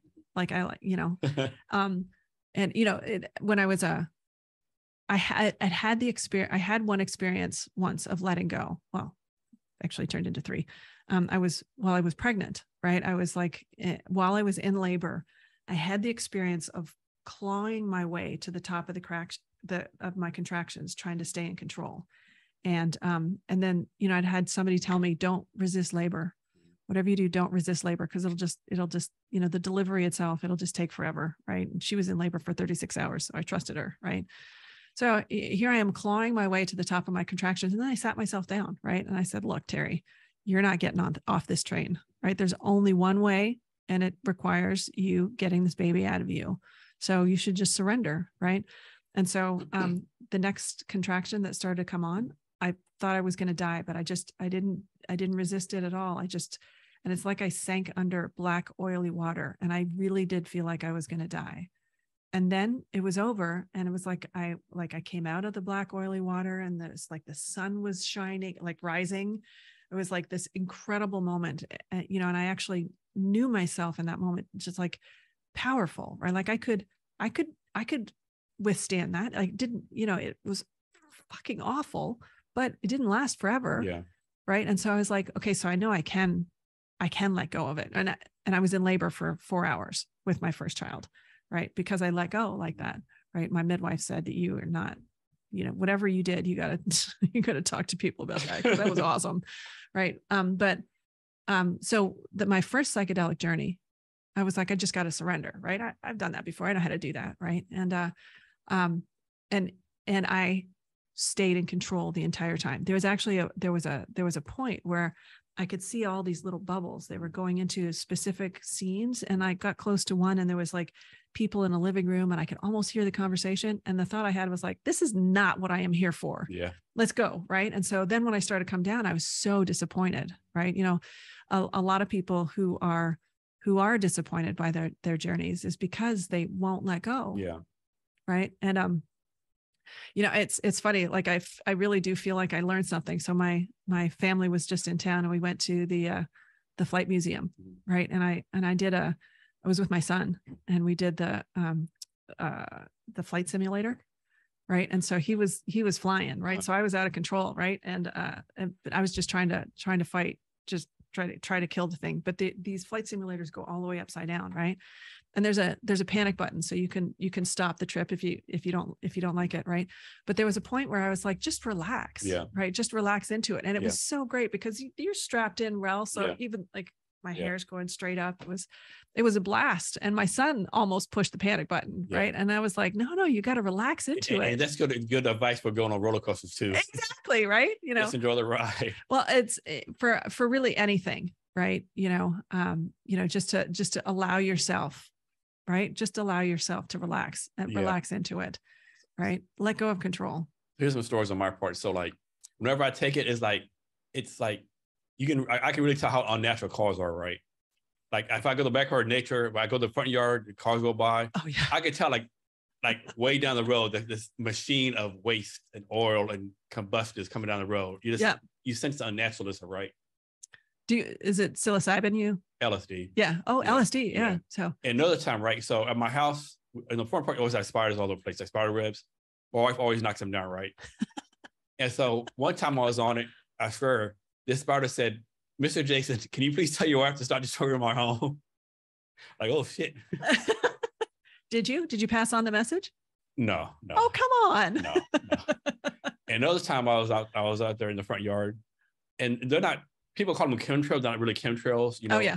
So it's like one one cloud or one cloud. I'm staring at it, and it's like starts going to become a laser beam. And so I take my fingers and zoom in on it, and so I zoom in onto the like the the atoms of the this laser beam, right? Yeah. So just stuff like that, yeah. Yeah, it's awesome, right? Um, and but I think you that's like once you once you relax into yeah. it right yeah you have to relax yeah yeah yeah, yeah definitely have to relax and that's the things you see how your mind opens up you know yeah it, it's really amazing right well so you know one of the one of the things as a as a neuroscientist right you know and i, I think that's also partly why i like stanislav's uh, work um because they're eh, you know I'm, I'm a student of consciousness as well. So um anil seth has a great book right? And he talks about how consciousness is just a controlled hallucination right? It's like it's it, it is a your brain puts together a picture of what the world looks like mm-hmm. and then your senses actually are correcting. Yeah. Like they're they're looking for the errors in it right? And and uh it's it's real simple uh, like it's it, it's real subtle actually his his uh theory of consciousness.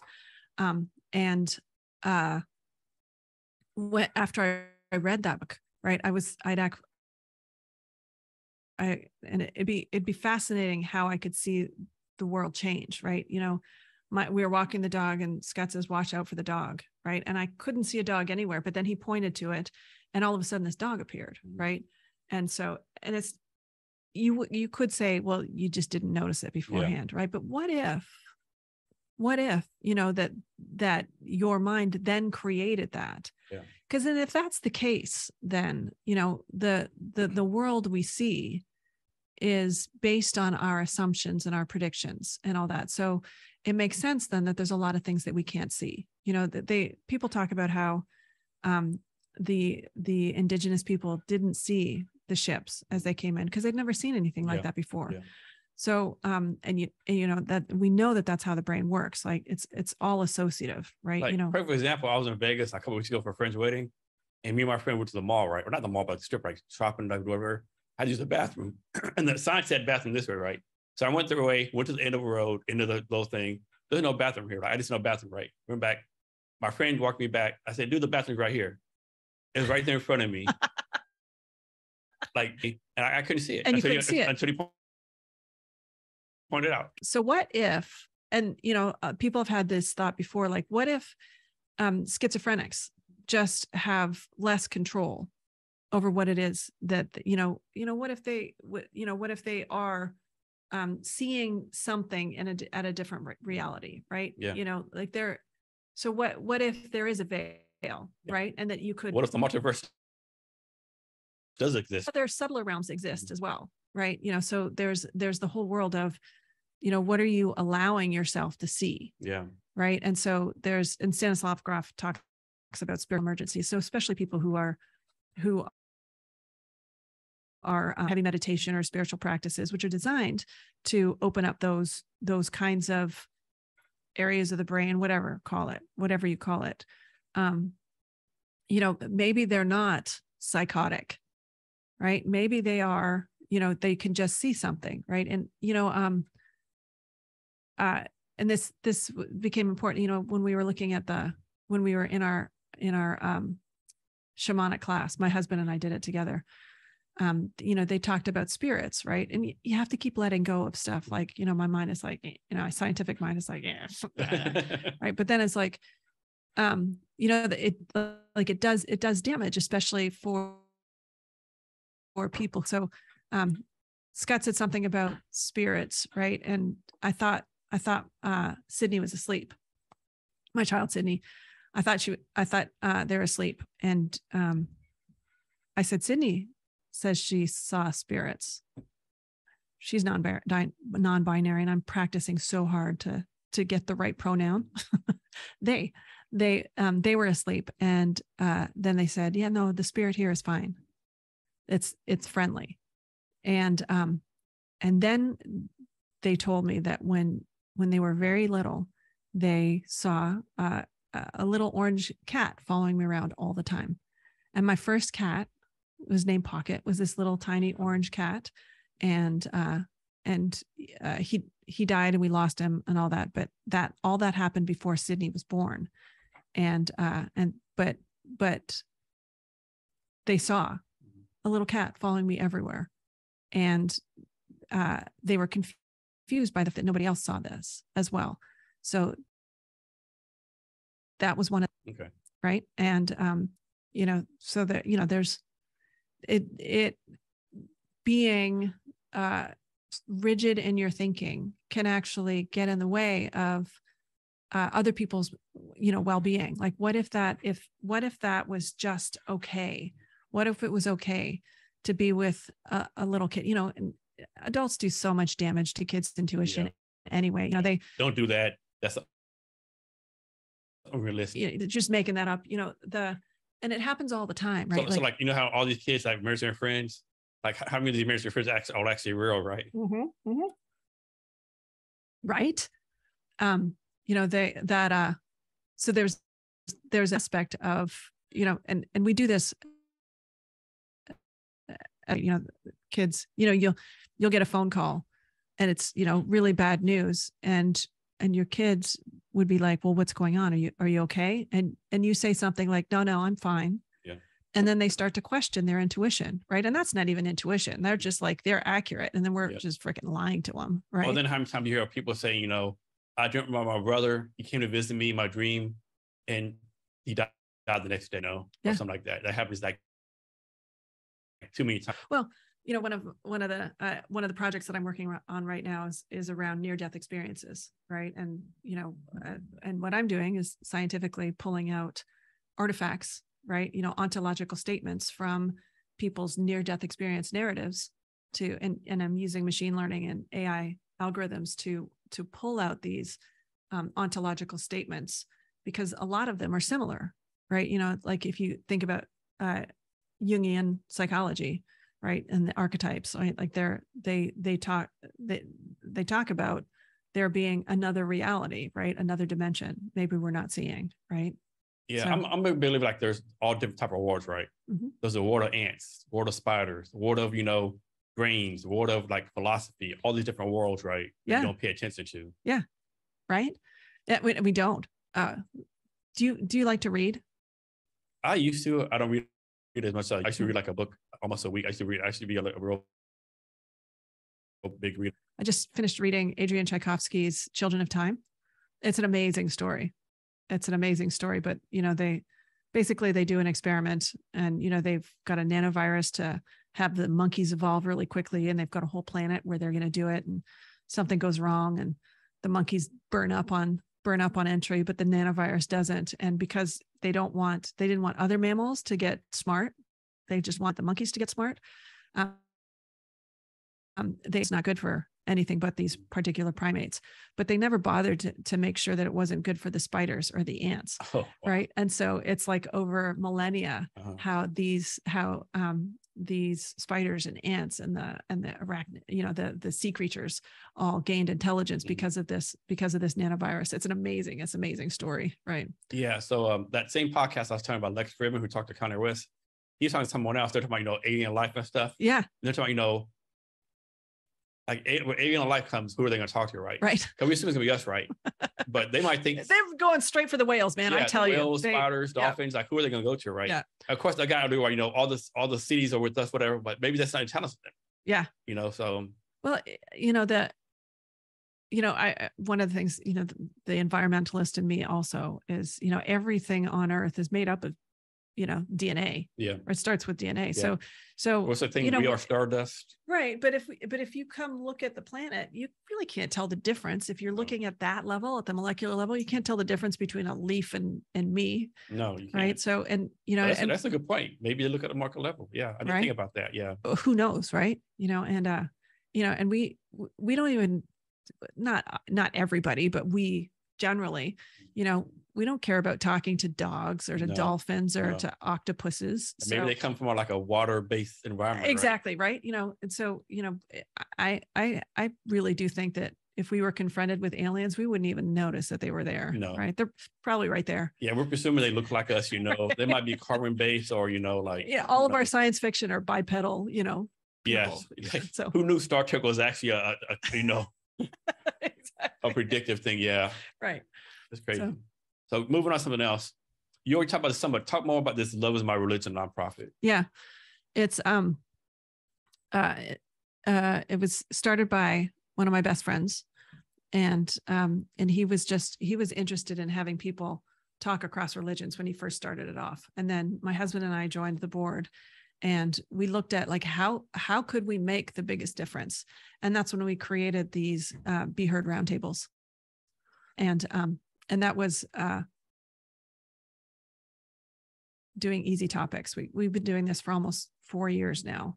And we started off doing easy easy things like um, men and women right? Like having them just share their experience and have the opportunity to be heard right? And then and then one of the things that we realized is where we had the biggest impact was um, uh, if if we had a conversation that that crosses the cultural divide, right? Like the the the right to left political spectrum, um, because especially right now, what what I think makes the biggest difference is is for people to feel connected, right, and to feel like, you know, we the you know it's the really really vocal that people think well that's the way the world is. And it's it's mostly not. It's not. I said before i'm a firm believer. If somehow we could take the 1% on the left and 1% on the right and get rid of them you know like send them somewhere let them go fight it out on an island yeah like give them yeah. give them some random island somewhere right because exactly. most people are in the middle most people have nuance you know like wait wait so much nuance so much nuance right you on know? the right you know you have like what's her name um the, the, the lady from Georgia, state representative. Uh, uh, Marjorie Taylor Greene. Yeah, her. Yeah. Like, oh my goodness, like. Yeah, they're like, not kidding me. Right, they're they're not all like that, but you know, it, it sure sounds like it because she's so freaking loud, right? So, yeah, so you know, it's nice when they silence silence her. So, right, because at least you know the adults can talk, right? Yeah, so she's definitely. I don't know. And so next, um, talk about the. I think it's called the Cohen Veterans Bioscience. Yeah. So that was um so I worked uh, I worked at the Allen Institute for Brain Science here in town, and that's where I figured out that I loved, to, you know, educating and talking complex, you know, showing people how to use these free resources. Um, but I also, while I was there, I realized that we are crap at dealing with data. Right? It is. It's just we're not we're not good at it. Right? You know, there's there's this whole whole thing in in open science about um, having things be fair right? Findable, accessible, interoperable, reproducible, um, reusable. Like you know, so we had this this whole world, and and data is hard, right? And data having data talk to other data is hard, right? And you know, just you know, all of the work that I did in my for my graduate work, right? Just giving that to somebody doesn't make much sense because they don't understand what I called everything, right? So I, I realized that there was a data problem. And when I worked for Cohen Veterans, one of the things that they were they were putting together was a database for uh, brain science, right? So uh, let's have all of the, especially in uh, in this society, right? We fund based on causes, right? So um, I work on Alzheimer's. Okay, here's a here's a pot of money to go solve Alzheimer's, and here's a pot of money to go solve Parkinson's, and here's a pot of money to solve other neurodegenerative diseases, right? They're all in the brain, though, brain cancer, they're all in the brain. But so you're looking at a, a problem of the brain from a, from a particular view and, and, and people don't talk to each other about them. You know, data is all in, in silos. So the idea was to let's let's get all of the data and put it all together one spot and harmonize it all so that it talks to each other so so that you could um, so that you can understand holistically how the brain works so that was the i you know i went to work there and that's also where i um i really started to understand what's going on with our veterans right? You know the and the other thing that i liked uh, about the the uh, magali haas is the is the ceo and she's got this amazing vision. Like what if we what if we based the drugs that we use on a mechanism of action instead of a gut feeling? You know we tripped over prozac and then drug companies tried to make money off of that and similar things forever. And I, you know, I, I remember a time when that's it's you know finding a new drug is hard right? It, it, takes a lot of time and a lot of money to do it. And so a lot of neuro uh, neuro um, discovery units were shut down because it was just wasn't bringing in uh, bringing in any money right? Until psychedelics kicked in and now they're all back on back on board right? But um uh so what what they were looking for is like let's actually look and see if there's you know like see if we can find uh, genetic markers. Can we find markers for ptsd right? And everybody said no. You know that's you're not going to not going to be able to do that. And they did. Right? You know they actually started to show like you know this you know these genetic markers show a, a, a predisposition for suffering more ptsd which is good to know because then you know don't have them on the front line. Right? You know like let's let's actually be humane about this. And so i loved the whole the the whole um, mentality and you know the i went to a, a veterans um, a cohen veterans conference where that was the first time i'd ever met beto o'rourke right? Because he was just an advocate for veterans right? It's a hard hard to be a politician in texas and not be an advocate for veterans right? You know for some reason regardless of which side of political spectrum you're on. Yeah right. And so you know so um so i you know i i got connected to right? Like the plight of it like what they did for us and then and then what they're dealing with now right? And so you know that's so that was that was a a short stint i did with them for a while. Um, and from there they they actually decided not to use the the uh, the software development platform that the software platform that um, that they'd started using.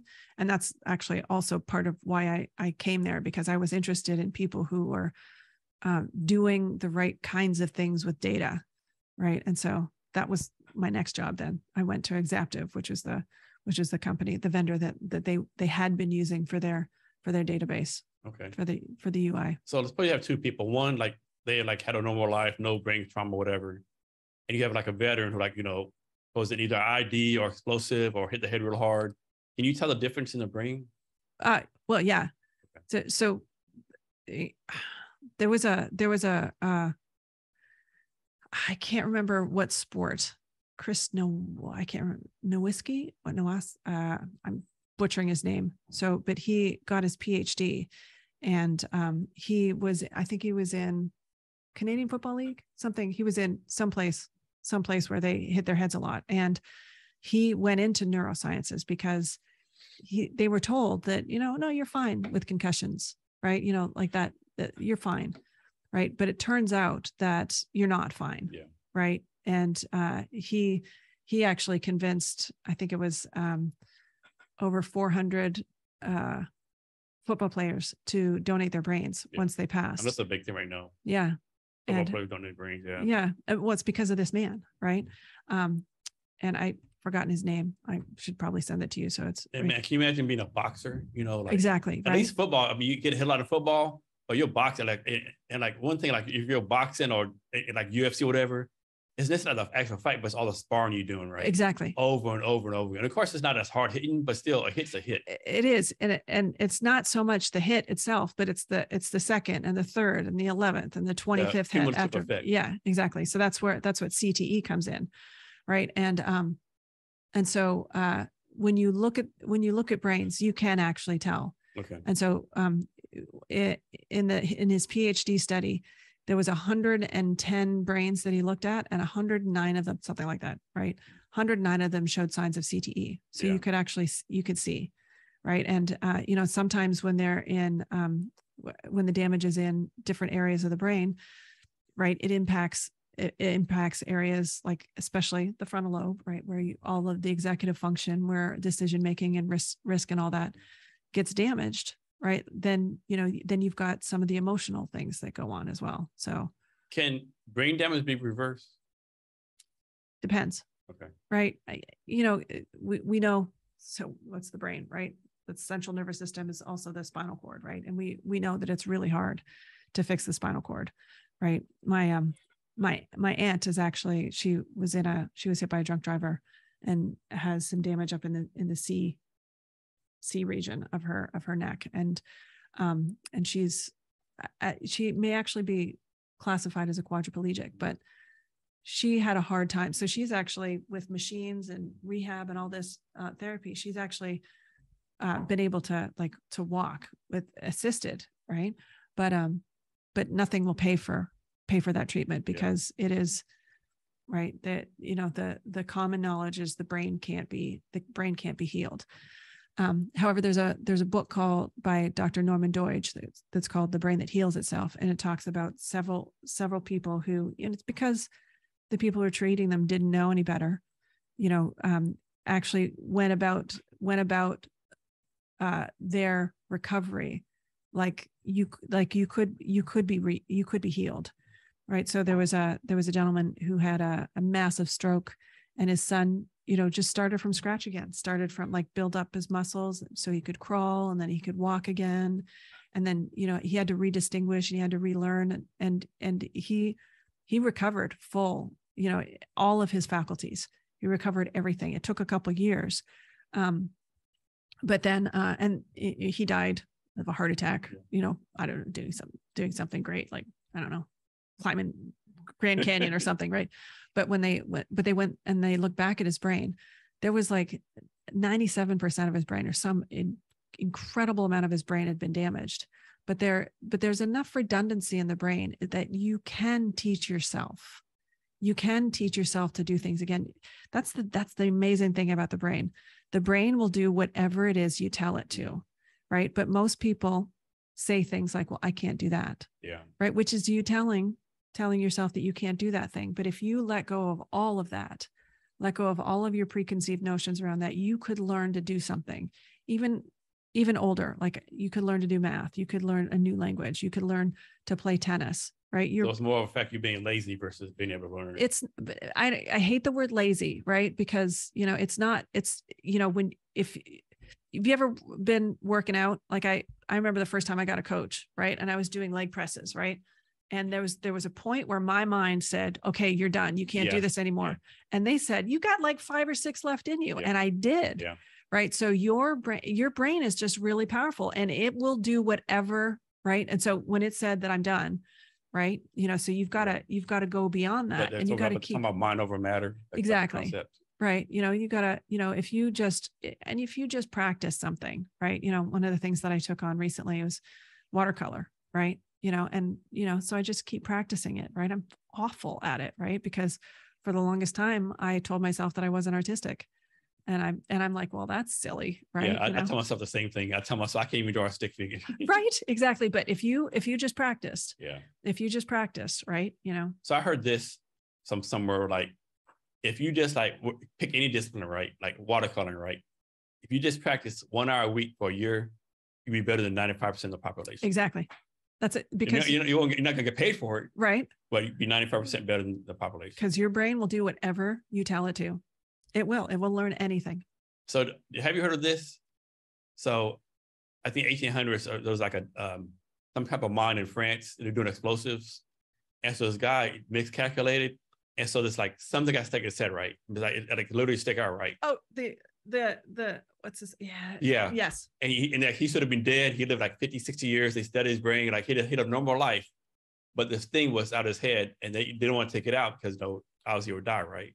Oh, okay. This is not uh well they they eventually the, the one that I what's Phineas? Phineas yes, Gage. Phineas, yeah, Phineas Gage. Yeah. Yeah. They did take it out. Oh, did they? Okay. They did take it out. Okay. But but his personality was forever changed. Yeah. Yeah. Right. It actually, it actually changed his person see that's the other thing about the brain mm-hmm. right? You know um so so so they took it out? Oh, oh yeah they took it out. Okay. Um but but some the the part of the brain that um that there there was something about um anger and aggression and all that whatever whatever put the stop on that mm-hmm. was was damaged right? And so then he was just you know out of control right? Yeah. he turned out turned out to be a horrible person all that. So so there's there's a getting getting into the nuances of brain science again here right? You know there there's the there's the whole world of um that you know if if what makes you you is the brain and i'm i'm questioning that but you know there there are aspects of the brain that it is entirely biological right? You know david eagleman is one of my favorite neuroscientists and he talks about this in one of his books um, there was a there was a man who developed a uh, a penchant for child pornography, right?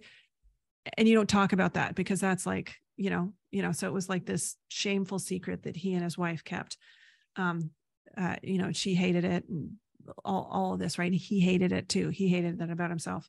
But then um, and then he was like uh, had these debilitating migraines, and at one point he had to be taken to the ER for it, and they realized they did a scan they found he had a brain tumor, right? So they put him into surgery, took out the brain tumor. Penchant for neuro for for uh, child pornography went away. Yeah, it was a function. it was a function of a cancer. Okay. Right. So like there was there was like something in his brain that that developed into this it's kind of weird, right? But very complex um psych- psychology, like behavior. Right. And uh and then uh, and then later um when the uh when the penchant came back, right? Uh his wife said immediately his tumor's back and they yeah. went and they looked and it was back. Yeah.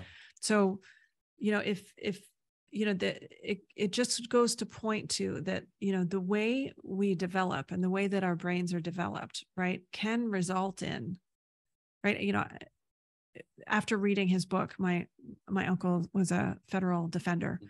Right i want i want to write a book with him you know where you know he talked about some of the weirdest crimes that he ever had to yeah, deal with I but i want to i want to talk about the neuro you know neuro you know like physically was there something in, in the brain that could have could have caused that yeah. right? So there's you know there's a you know there's all sorts of interesting questions like free will and all that you know in in the brain so. So on a scale from 1 to 100 what percentage of the brain do we really know about? Oh my god. I can't even answer that we know so there we know so much and we know so little yeah. right? You know um and the and the other thing about it is that what's what's really great is that you are uniquely you right? And that has to do with all of the things that have happened to you in your life and all of the thoughts you've had and all of the um, all of the experiences that you've had right? And you know and so um, so that has you be uniquely you.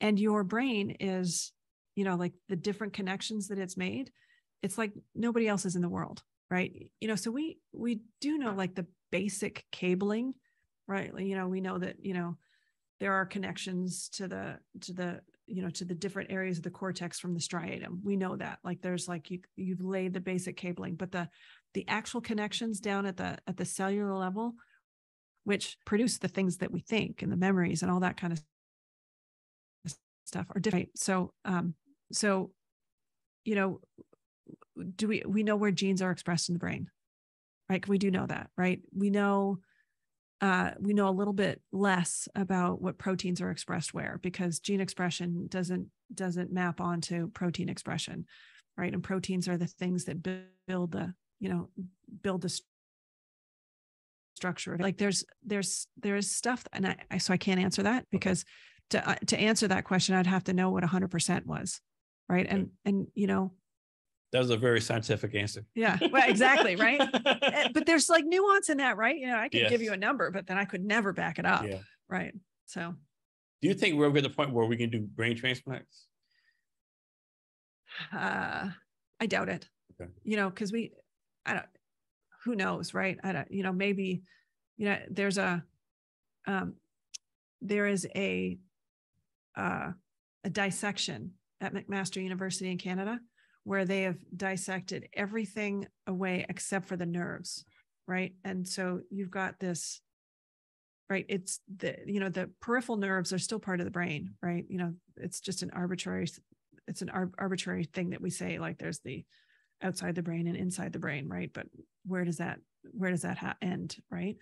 So um to actually take the brain out right and put it into some there's just so many connections that would need to be remade that it doesn't make sense. I i i think so we have to wait for aliens to come give us the technology to do ex- that? Exa- or or you know i think it's way more likely that we'd be able to upload a consciousness at some point than to be able to do a brain transplant. So you know and so and who knows right? I'm i've been reading a bunch of science fiction about transfer of consciousness which yeah. is awesome right? So have you, have you watched a show called um, Year Million? It comes on Nat Geo. So basically, it's Year Million, like stuff like futuristic scientific stuff. Oh no, yeah, yeah. No, so one, of, so one of it is like um, these uh, this um, there this this couple's daughter's about to die, so there's asking the limo, do we upload her? No, basically it was like, do we make her an android? She stays around forever. Right.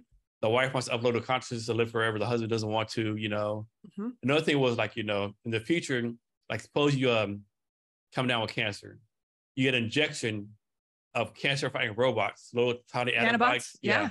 And they kill the cancer, you know, all kind of future stuff, right? Yeah, that's it that's that one's off. even closer. That yeah. one's even closer than yeah, but you know, that stuff is that's amazing, isn't it? Yeah. Like there's there is so much stuff that that that we can, you know, have you have you watched Black Mirror at all? No. Black Mirror is awesome. Okay. Right. Check it out. It's just it's just science fiction about, but it's like you know technology gone wild. And there's, you know, there's this there there's one what you just said reminded me of one of the episodes where um uh, a woman's husband died, right? And she's just like grieving, you know, like she's got a whole like a whole bunch of grief going on. And this company calls and said well you know there's enough there is enough uh, sound recordings of him and we could do this now yeah. right? There's enough sound, do that right now. with sound recordings of him that we could like let you talk to him via the phone right just to you know and so you know she would talk and then you know th- then it gets better and they says well you know we could actually upload into an into a body so this body comes right yeah. and it's like it looks just but it's but it's it's interesting because there's one point where she's like you know like apparently he's horrible in bed because he never puts that stuff on facebook right mm-hmm. you know so there's yeah. like a lot of the the internal stuff that they could never know yeah that just makes that that creature that thing that they created really shallow mm-hmm. because it's just all the good stuff right yeah. you know that they didn't you know it doesn't talk about any of the difficult times or the negative emotions because you know most people don't want to talk about that no. i'm a firm believer that whatever you can imagine you can do right but yeah. maybe not right now like you know go back to star trek in the 60s you know with the flip phones the microwave ovens all the stuff they did now that's all true right you know right and and who's to say that that it's uh, we have that now because somebody imagined it once yeah right you know like like you said right you know it's we can do whatever we imagine you know it's a it's it's a there's a lot of amazing things that they do on that that I like to think about in Black Mirror, right? Yeah. Because it's like what what it comes on. Does it come on? I, uh, it must be Netflix. It must be Netflix. Netflix, okay. Yeah, yeah, and it's a some. It's like a TV show. It's TV uh, show? yeah. If you're gonna watch it, don't watch the first episode. Okay. Don't watch it because it that one is like shocking. Mm-hmm right? And who needs to see prime minister fucking a pig, right? What? yes, exactly. So it's just like if you watch that one and like that's your introduction to yeah. it, it's kind of like, well, yeah. this is a stupid show. I'm yeah. not watching these. So watch, you know, watch them in any order that okay. they come. That that um that just strikes your fancy, right? You know, there's there's a there's a terrifying episode that I loved, right? You know, so there's there's a lot of episodes, but so and you've got like five seasons now to, okay. to choose from. So yeah, yeah thank, thank goodness we were able to binge watch TV shows now. Right? Exactly. Right. Yeah. And this is one of the ones where don't watch it in order because you don't have to. It's okay. like, because every episode is, it's like, it's like Twilight Zone only on steroids. Right. so next, let's talk about your first love, astronomy. Yeah. So what got you interested in astronomy back in the day? okay. So um, I was eight years old and I walked into the library and my best friend was reading a book. And I said, uh, I said, what are you reading? And he said oh you wouldn't be interested in it. It's a it's a book on astronomy and girls don't do astronomy. So i was eight years old when i decided i was going to be an astronomer. And and it was it wasn't there was no malice despite him? It wasn't despite anything. There was no malice but i was just i was just confronted with you can't do this. And i'm like yeah i can. Right? And so 11 years later um, i'm a freshman uh, in college and uh, i'm i'm crunching numbers at the very large array in in New Mexico on the plains of San Agustin. It's that's the radio telescope that's got the 27 different um, telescopes. You know, um, Jodie Foster in Contact that yeah. that one. Yeah. I was working there and I was like, what the hell am I doing here? I don't want to do this. Right. And so it was so I I just did it is because it was a decision that I made when I was eight years old. So um there was no uh there's no thinking or exploring or anything about it. So uh, so I got my physics degree and um, and then you know I started to do environmental sciences as well because I liked I've always been a tree hugger. Yeah. Right. And that's and then I took a couple biology classes and I found G protein coupled receptors. That's what that's that's what had me on this path now. Um, but I've but uh, you know, I still love I still love the stars and I still love, you know, the everything that, you know, astronomy and the the idea of science fiction and space exploration and all of that stuff. Right. But um, but you know how how I started. And and it was actually um you know when I I saw on Facebook once there was somebody who lived next door to somebody who'd gotten a letter from Carl Sagan right? And they they'd asked they'd written Carl Sagan and they asked him what classes what astrophysics classes should I take um, as an undergrad? And his response was don't take any astrophysics classes. Yeah just get your basics in physics first and then go into into um, astronomy studies astronomical studies. And I really wish that somebody had told me that because, um, you know, I started to take uh, astronomy classes while I was in college, right? And, and actually worked there without having all of the background knowledge that I needed, right? Like, you know, without uh, working my way through differential equations and all that stuff. And so um, it would have been, I think I may actually still have been there had I not jumped straight into astrophysics, right? If I'd actually just gotten my physics degree and then and then went into it when I when I had a ba- a, a broader understanding of it. I'm sure you've been watching all these James Webb photographs coming back. I know they're amazing. I mean, it's like I, I, I make this every day. They find like thousands of new galaxies. Exactly. Exactly. It's awesome it's awesome. And yeah. it just the stuff that they're showing and the, the fact that it's it's not matching predictions no. just makes me so happy. It just because it's you know it's a big freaking mystery yeah and they're, like, and they're, like, pointed like dark space right there's nothing there. Oh shit. There's a lot there's, there. there's stuff here, here too right? And yeah. like you know like i mean of all the million planets just based on stats has to be something out there right? Oh yeah. I mean oh yeah. has to be something out there right? Yeah absolutely. I know one thing just to me, like a lot of people like, we want the aliens to come. Like, do you want the aliens to come? Like, like, do you really want them to come? Like, can we meet well, somewhere else, like middle of the universe? No. Do you want them to come here first? You know, like there's there bad things could happen to us. Yeah, there's a lot of different, you know, so all we've got is our imaginations on this again, right? You know, and so science fiction is amazing for this, right? You know, and so um uh Jin Chin Liu, he's a he's a Chinese author who wrote to three books. It's such such a great story, and it's hard science fiction. So yeah. you know, we find we find out that there's other people, right? And we you know we find out you know we communicate with them, you know, and then uh and then so they they decided that our planet looks way more looks way more uh uh, uh, uh because you know in their world there's there's three different suns and yeah. so they have to dehydrate mm-hmm. and, you know and so like the, the whole world's unstable and the idea of having a stable planet they love that yeah. so they're heading our way right but it's going to take them 400 years to get here mm-hmm. right which is amazing right because then you've got this story playing out of like what do we do knowing yeah. that knowing that these people are coming and they're way advanced than us and all that kind of stuff right you know so and it's so it's uh it's it's a, it's a fascinating story it's an amazing amazing amazing story. Here's one for you. This is how you, I think you take over, right? I suppose the alien, aliens, well, aliens out there, right? Right. More, more advanced with us, everything, right? Yeah. They come to this. If I was them, I would just send one person, right? You just send one person? Yeah. Yeah. But the person says, I'm God. Yeah. I'm God, or all over the case to be Buddha, and you show your power, whatever, you know. And yeah. then like that's it. There's okay, there's so many, there's so many stories based on that as well, you know. Um, but the uh like the the the Tchaikovsky one, right? That the whole thing was, you know, they sent the monkeys down and all this, and they they had put somebody in a sleeping pod, and they were going to be God, uh-huh. right? They were going to be God, you know, yeah. to these to these creatures. They they literally are God, yeah, right. Which also makes me think, you know, when I, you know, I I think it's of all the creation stories, I think um, genetically modified humans is probably what I mean, happened. People don't realize there's so many creation stories. Like people don't realize like there's so many so many of them are the same though. Yeah, they are right? They like, are the there's same. So, there's so many like Noah's Ark stories at different places. You know, there's so many like right. Like people realize there's so many like you know, the virgin birth of you know whatever whatever you know, yeah. dating back to the. They're all goddess and goddess and child, God yeah. and goddess and child, right? Yeah. So, but, but you know, when you if you if you think about you know the, we keep talking about you know to any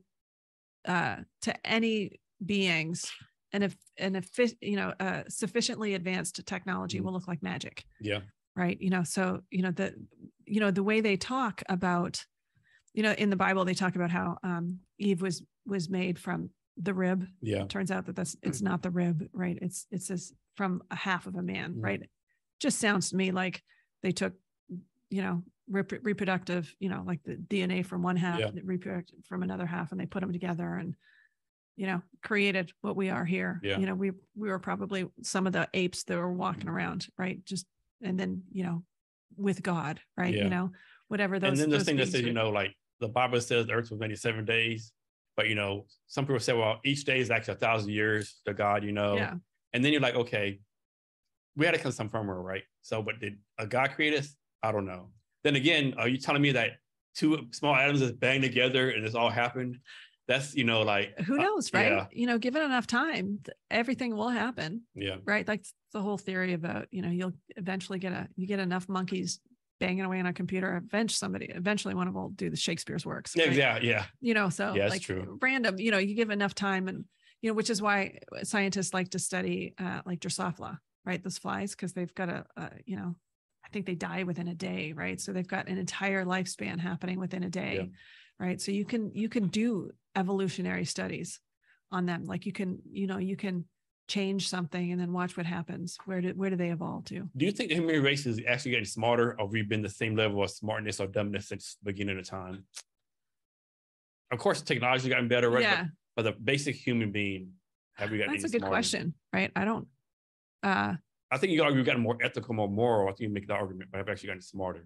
Uh, yeah, well, it's it's interesting because you know we were we went to the uh, I was I was saying we went to the museum, the the Museum of Flight yesterday, and they were they were getting ready, you know, and if you've watched um, Hidden Figures, right? Yeah, yeah. You know, they're getting ready to launch a uh, a rocket, right? And they've got these these notebooks. They're flipping through pages, right, on these notebooks, and I, I was like, they, they didn't they didn't have computing power. So what what do you mean by smart?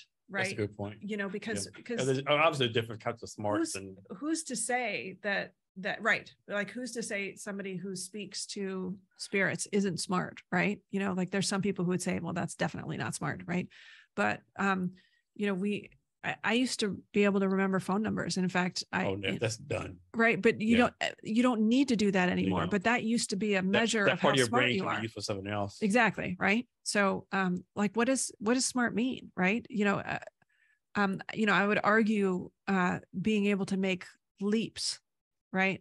You know that that aren't like logically following. You know, I I've got a novel in my brain somewhere about you know how um, like the people who are really innovative like make just they make a leap that it's like they yeah. didn't follow a path but they they could jump a chasm yeah. right and have have something come together right? I, I definitely there's like once in generation people come like you know obviously leonardo da vinci like nikola tesla. Maybe but you know maybe that's just okay so you know maybe that's just white privilege right? You know who's to say i mean that, that's like all the stuff happened in Africa, Asia. exactly. Know, who's to China say? China was so far ahead of us and everything. How many? Eh, who's to say how many Beethovens? How many? How many Einsteins that um, we don't know about? That we don't know about because you know they died early because of dysentery yeah. because yeah. they don't I mean, have we don't clean know about water. because they had like you know lug water two miles a day for a dollar a day or something. Because they grew up in Flint. Yeah. Right. Yeah. Flint. Yeah. you know, so like what's who's that's the whole thing about smart like what is that you know if you oh there's there's there's so many comics about how if you if you judge a fish by um, whether or not they can climb a tree yeah, they're gonna yeah. look they're yeah the meme like you have the final test climb a tree you got the fish and all this different right. stuff you know and like and it's just the monkeys right yeah. you know so you know and that's how we measure smart right you know that for a long time we were we were really clear that that uh, you know i remember when i was growing up i was like what do you mean you know yeah of course they do. What's yeah exactly. What do you what do you mean by that right? Yeah. you know and and first that's of all that's blasphemous right there. Right? But you know first of all how did they figure that out one yeah. out right? You know they just had an idea and they're like that that uh, doesn't conform to my worldview so so this popped my mind. So so when x-rays first came out supposedly when someone was dying they would try to take uh use to put the x-ray to try to try to take the x-ray of the soul leaving the body. Mm-hmm. So yeah, and I don't think so. Huh.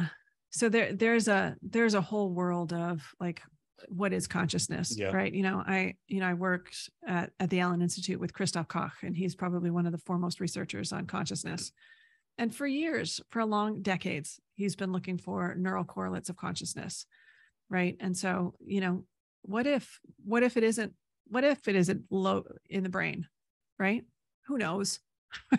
maybe, you know, maybe there is a locus of consciousness in the brain, but it's looking more and more like it's not. That's not the case, right? You know, there's like, you know, is it a, an emergent property of complexity? Who knows, right? There's just so many theories now. So, so. talk about this, like, so like, but you're you're you're by yourself, you're watching TV, whatever case may be, and then a memory pops your head of you having like you know brownies your grandmother. Yeah. And then it's like switches to like you're playing baseball. Yeah. And like all these names that pop in out and out and have nothing to do with each other, right? Right. What's well, that about? It's not. How does that work? Like there's no correlation. Well, to me, there's no correlation, right? Maybe there is, maybe there isn't. Yeah. Well, I'd like you to consider that there is. Like that's how the brain learns things is is you associate things. So you'll find yourself like you know you'll you'll you'll go like, on a tangent right? And yeah. you'll you know you're thinking about a yellow pencil and then you think about a school bus and then the last time you were on a school bus and then that person and i saw that person look just like that person you know like and so it, it is connected. So i guess there's a very phrase that like you start with number one we say oranges and thought number 10 is like something like nowhere close to oranges like how's that thing go? Yeah it's so but it is it is a it is a path right? You know how we learn is we associate things with something that we know mm. And that's also how how the memory works is right? So you can you know you can find yourself and uh, so i was saying about meditation right? I like i for a long time i tried to meditate and i couldn't meditate and uh and then i started meditating with sam harris. So he's a neuroscientist and i like to think that what he did is he's he's got enough background on how the brain works that he really does just help you trick yourself into meditating. And um you know one of the a lot of what his meditations look like are just you noticing all of the stuff that comes up like a- any sensations you have from sitting right? Um and then and then noticing like sounds that happen and then noticing like thoughts that come up and and and his whole thing is like notice that you're not doing any of that. All of that stuff is just doing it naturally right? So your brain you know so like you have got no uh you've got no control over the different sounds like people will walk in and yeah. the birds will you know, all that but it happens over here in your consciousness right? Um and you're and the and then there's the the thoughts that you have that just you don't even you don't even have to think to yourself okay i'm going to think about elephants right? It's just like all of a sudden you're like on this like this path and all of a sudden elephants show up right? You know it's so um so perhaps consciousness is just a space in which all of that arises so he does a great job. And so you know you find yourself meditating and you find yourself starting to get really good at meditating just allowing your brain to do what it does and then yeah. just to notice what it's doing. Also it's amazing like if stuff when I was a little kid. Like when i was a little kid i used to stay with my grandparents for summertime right? Yeah. Every day i walk my grandmother to the post office. Every day we go to the local corner store general store we buy me orange soda and a thing of starbucks. Yeah. So whenever i see orange soda the Starbucks, I like my heart melts, right? Yeah. And if someone says they don't like Starbucks, like you're the devil. Oh, exactly, you're right. the demon. Get the hell out of here. what the fuck's wrong with you? Because it's because it's like it's got such a thing in your heart, yeah. right? You know, and so which is also where we start um, getting all xenophobic about people.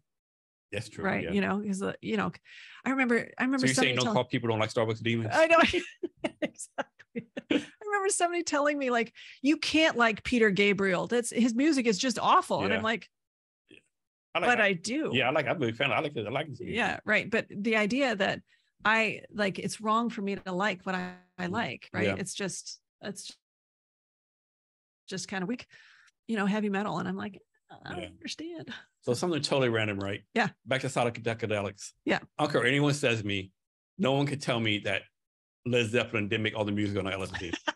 like, I don't care what you say. They made that music on LSD. You know, I had a. You can't. You can't. There's no way you can convince me otherwise. I had a. Oh, I should share a, a playlist with you. Um, uh, that's just a friend of mine. You know, you know, he did a lot of acid when he was when he was younger. But you know, there's there's a like. I had a friend. There was a bunch of us sitting around, and this this guy was really straight laced, and he was like, "Why would anybody smoke marijuana? Like, why would anybody do that to themselves?" Mm-hmm. And and you know a bunch of us potheads are sitting around yeah. and and uh and one of them said because of music. Yeah. And uh, he was like what? And he says music is totally different oh, yeah. when you're high. Oh yeah.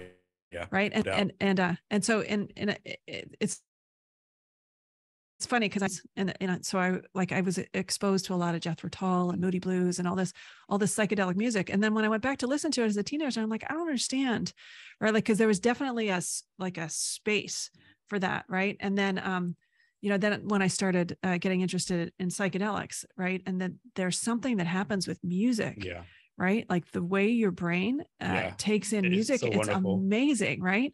And so and you know the so this is also so i was raised catholic mm. and uh, uh, you know a long time. Um and mostly because uh, the music is so amazing right? Like they you know there's a the composers there they knew how to mess with the mind right yeah. you know and uh and you, like you'll listen to some of them some of them like there are some composers that are synesthetes mm-hmm. right which means that they can see colors i mean yeah. they can hear colors right so like like um a, a, note has a particular color to them right and um if you listen to their music sometimes it sounds a little off but once you realize they're synesthete it's it's yeah. seeing the music right? And so it's got to you know that particular note combination you know uh did something in their visual field right? You know that so which i'm fascinated by right? And so that's one of and the things like, about and that all syncs together. Yeah i uh, you know uh, on psilocybin right? I you know if you've got your eyes closed and you're listening to music and you start to see colors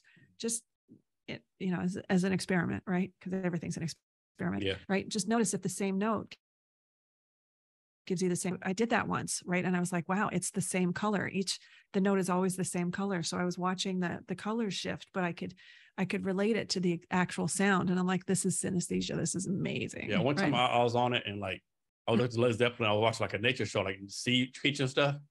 And like all the sea creatures were like lip syncing perfectly to led zeppelin. Like I, I, know what it's like you know like uh, yeah you know like yeah. Yeah. Yeah so, it's, it's, it's insane. it's a uh, it's it cracks me up how um how uh, cannabis is so dangerous, right? But if you know, if you watch, you know, I've I've uh, had my my kids, right? You know, uh, when they had their friends over. Um, I'm not saying whether or not they were in college or not yet, but you know, but they uh all they wanted to do is turn on Animal Planet, right? Yeah. Or Blue Planet, right? And watch that. Oh, and yeah. I'm like, really? That's that's the indicator. Yeah. I'm like, is that, that might be an indicator. Yeah, exactly. Is that, you know, that's dangerous? Do you, really? Yeah. Yeah. So yeah, one thing about marijuana, like I know some people out there, they say, you know, have to be focused, energetic. Some people say, like, oh man, I can't do anything on it. So I think it definitely affects people different ways. Well, so let's little brain science there. Okay. Right. So um, the most abundant receptor in the brain is the cannabinoid receptor. Then I know that. It means it's everywhere, right? Which is why people people use it for anxiety. Mm-hmm. People also get anxious when they're on it. They get paranoid while they're on it. People use it to sleep. People use it for their appetite. People use it for pain. People okay. use it for being creative because um, the different the different strains, the different yeah. terpenes. I, I have a good friend. Like he he told me like he has an anger problem. He said if he, he feels so angry, he takes like a 10 mg yep. and then he's like right? Gone. Yeah so there's so it's those receptors are everywhere in the brain right? And so like the, the question that i think is eh, fascinating is like well why are they everywhere in the brain? What are we what are they doing right? You know it's yeah. so the cannabinoid receptor yeah. researchers they were fascinating. They were i'm sure they were all potheads as well because you know you can't study such an interesting such an interesting drug that has such interesting phenomenon and not want to like yeah. understand what it is that's happening. One thing I do kind of wish, like when I was growing up, you know, you got your 10 bag, dime bag of weed. Now you now you go to the store, the dispensary. How do you want to feel? Here's 20,000 options. Exactly, like, right? Like you can drink it, smoke it. Like, no, it's too many options. Well, it's um because there's there's a lot of different com it's, it's such a combinatorics problem. It's yeah. awesome. But you know, I remember when I when I um I first went into a, a dispensary and I was like, uh, okay, so it's been 20 years since I've done. And he says, "Oh, yeah, okay, hold on, right?" And he they pulls start out, off at, the kitty level, right? Well, no, he he pulls out um, some ACDC, which mm-hmm. is primarily CBD, and he says, "So first thing you got to know is this is this this shit is way stronger than it was 20 years ago. Oh, yeah. So if you get a little green, which means you start getting sick from being too high, take a little of this. Yeah right and i was like okay that is some information that's good good yeah, to have right information. and then i said well i like feeling giggly and all this kind of yeah. stuff and then i learned a whole lot a bunch of stuff like i was like i thought for sure i i don't like indicas mm. right but now right yeah i mostly i do edibles now because yeah. you know i i don't like the i don't like smoking except when i'm with my dad he's got these amazing double water rigs that are awesome so i don't uh, it doesn't you know my dad's been a been a pothead since he was a teenager so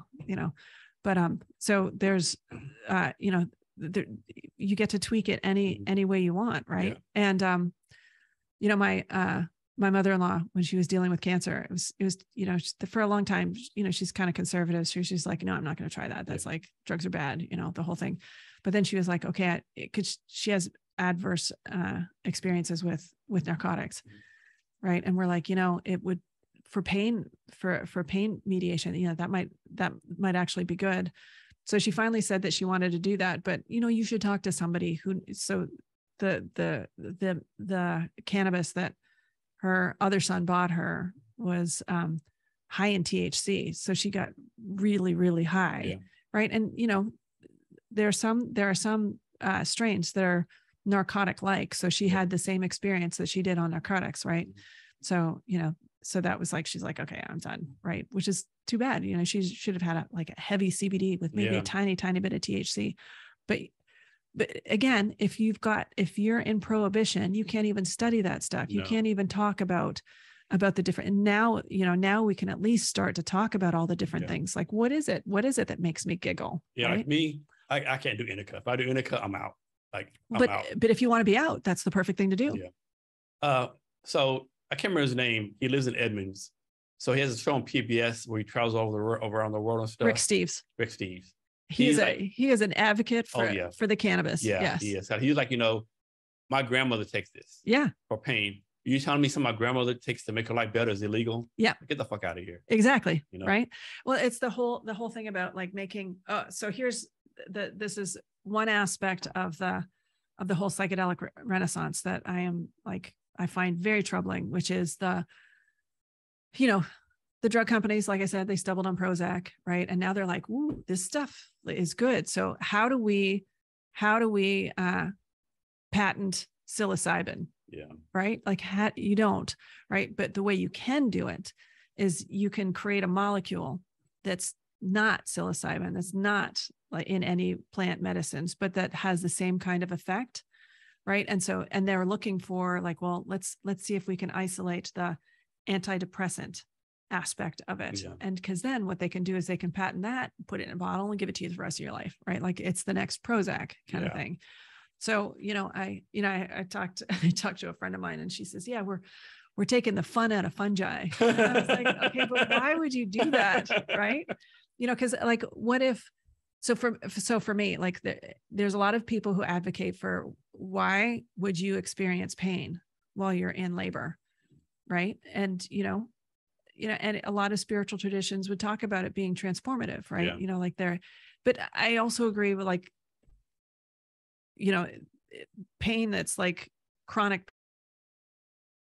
pain you should you know i'm, I'm also um, I'm training to be a hospice volunteer, right? And you know, one of the things about hospice is like, you know, pain, you know, treating treating the pain actually yeah. helps the the quality of life. Yeah. But you know, so the the there's the whole thing about it being transformative, like being able to to move through the space, right? So I was saying that. For I mean, reason. one good thing about pain, if you have pain, at least you know you know you're alive, right? Exactly. So it's a living experience. So I mean, yeah. pain can be good, right? Yeah, yeah, and then you know there, yeah my uh, my stepmom who had esophageal cancer right she she treated a lot of that that's like that's pain because mm-hmm. she can't breathe right and because yeah. there's something growing in her chest that they can't get out right you know like that's that's a good that's a good kind of pain to treat with with medication and it's you know and like people have different pain what's the word uh, pain um oh man um like pain uh not limitations but a pain um we have like different pain levels, right? Like yeah. my oh. pain level is different for yours. Yes. Thresholds. Threshold pain. Yeah. Yeah. yeah pain yeah, thresholds. Yeah.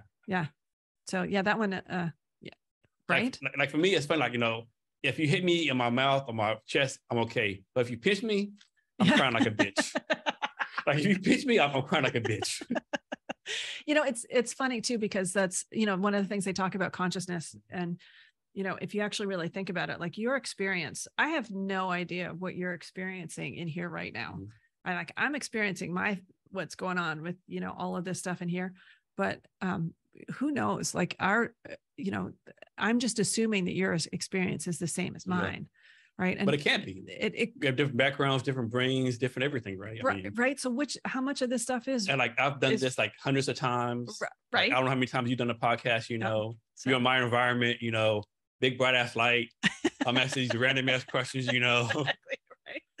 So yeah, there is that that whole aspect of it, right? You know, and so it's uh thinking like you're the expert of everything. I'm not an expert. I'm just being curious, asking questions. Like you might be like, these are fucking dumbass questions Jason asking me, right? Yeah. Or you might, you know, you never know. Uh, you never know, right? You know, that's why that's why I appreciate you asking the question. Is there anything you want me to mm-hmm. ask you? And I'm like, yeah. Yeah. right? You know, let's just let's let's let's have this be a meandering meandering pond kind of thing, right? So pond, river, river. That's what's the, your that's the bourbon. What's your favorite publication you've done so far and why? My favorite publication. That you've done. That either you got the most out of, had most impact, or you just had the most fun doing, whatever the case may be. Yeah. Oh, that's interesting. Um, you know, so I uh my dissertation, nobody's read that right? Nobody's read my dissertation, but it really was. Well, hopefully your panel read it. Right, exactly, right.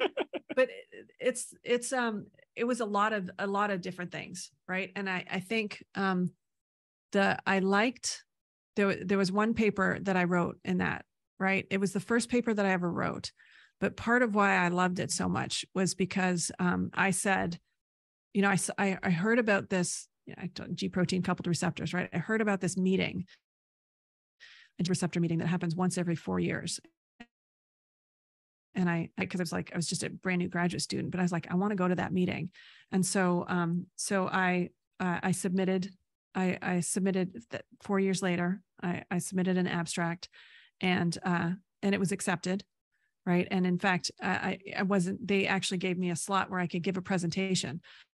And so, um, so I gave a 10 minute minute presentation and uh, it was it was just it was just you know different an analysis of kinetic states of a receptor binding right it's you know it's like you know it's like that's so in the weeds right but um but i got to i got to present it to um uh bob lefkowitz and brian Kobilka.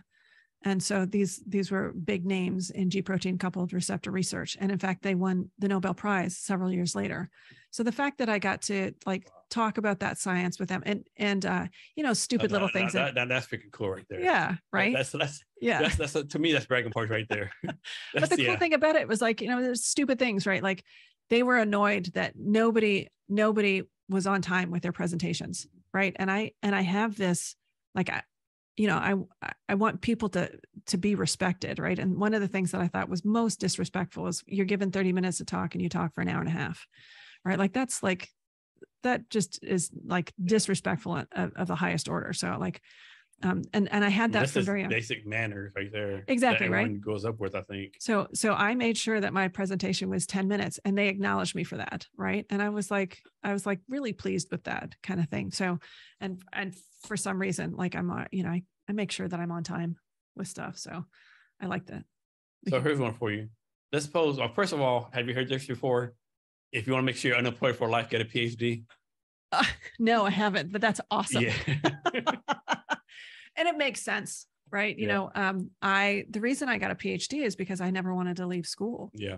right? I loved i mean school's a great time right? You're in your little bubble you're enjoying yourself you're like yeah. you know you're kind of isolated you know? But it was but it was also just you know i got to i got to learn about physics and i got to you know like the different jobs that i had like i worked at the very large array then i also worked at a a, a lightning lab where we were inside a big faraday cage and i got to do you know uh, i got to monitor thunderstorms with radar and you know then you know and you know I, I, took another job where i just worked for the for the provost and you know uh, you know i learned to write right? And i loved i loved writing. I liked yeah.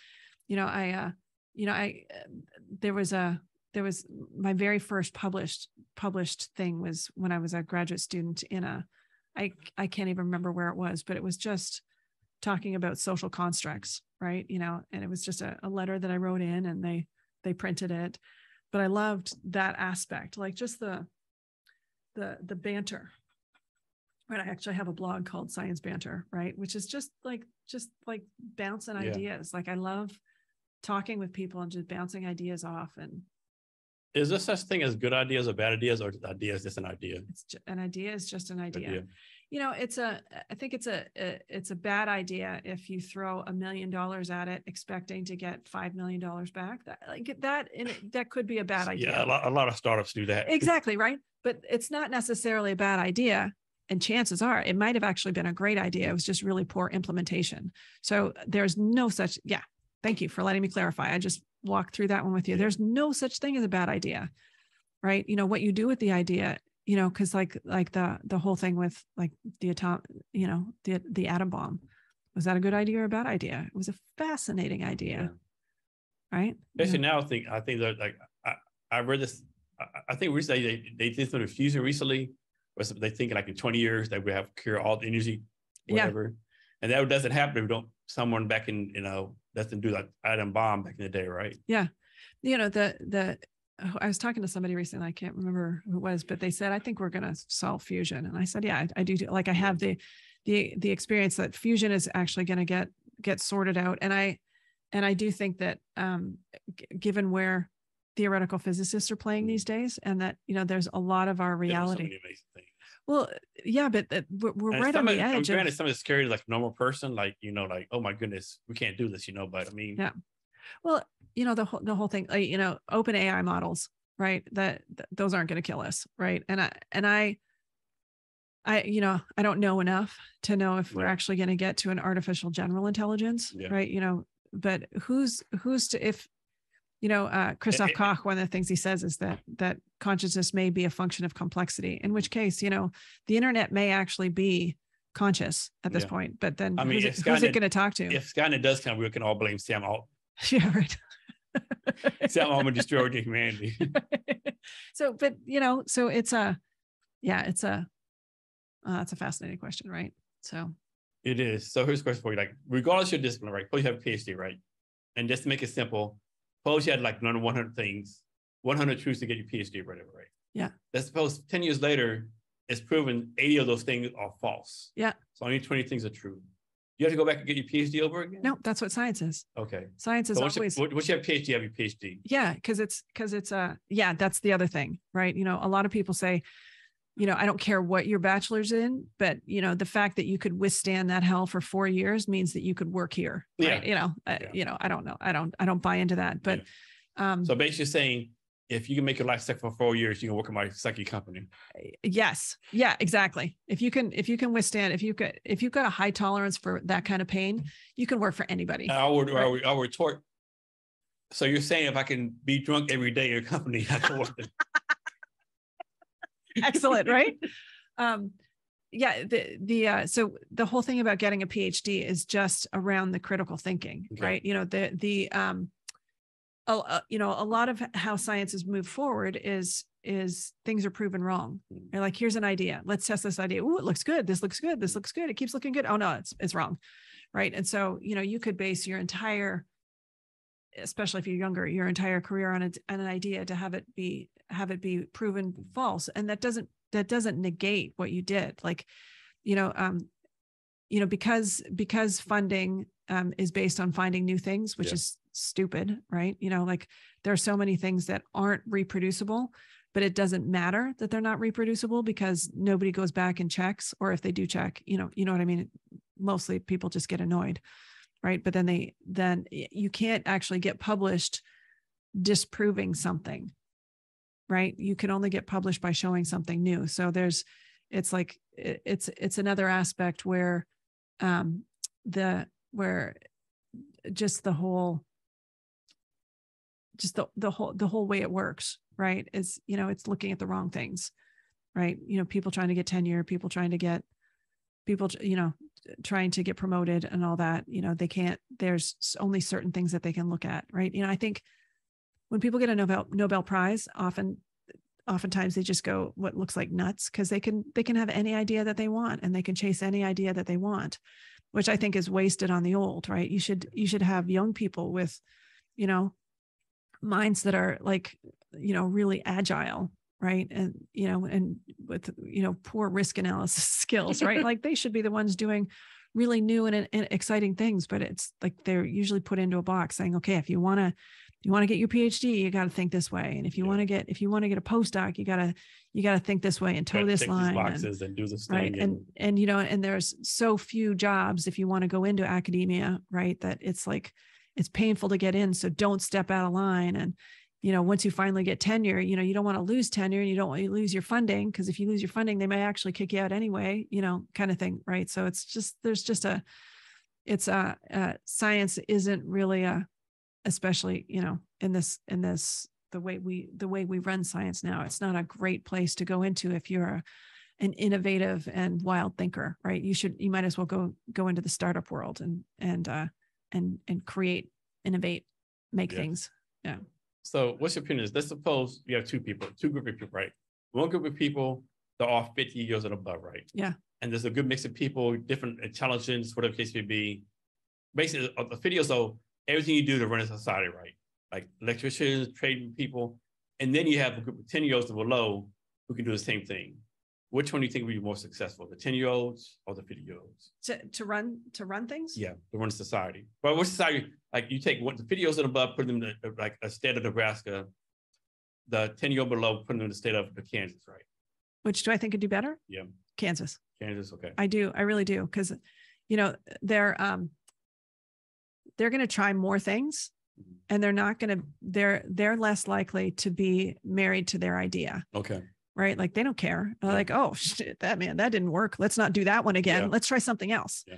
Right. But as you get older, you start, you know, thinking thinking more rigidly. You right? stay in your box, right? Yeah. And you're like, okay, this thing, this thing should have worked. Why didn't it work? Okay, let's let's try it, try it again and let's tweak this little thing as opposed to like, well, that didn't okay, that that thing you said with the swing, trying that, let's try that. Let's see if that works. Right. You know, so I I, I do think, you know, yeah, I don't know, maybe they kill more people too, though. You know, you know like, yeah, 10 year olds should be able to drive, right? It yeah. depends. You know what I mean? So, but, you know, I. So, next one, like, so like you have like two people, right? Two kids, with a kids be two people, right? I think some people, like, they go to like, you know, a swimming pool, right? One person will go to the highest diving board and jump in. Other person, like, you know, tip the toe in and like why do some people like be so because like so like I won't say scared conservative, but other people like go all in, right?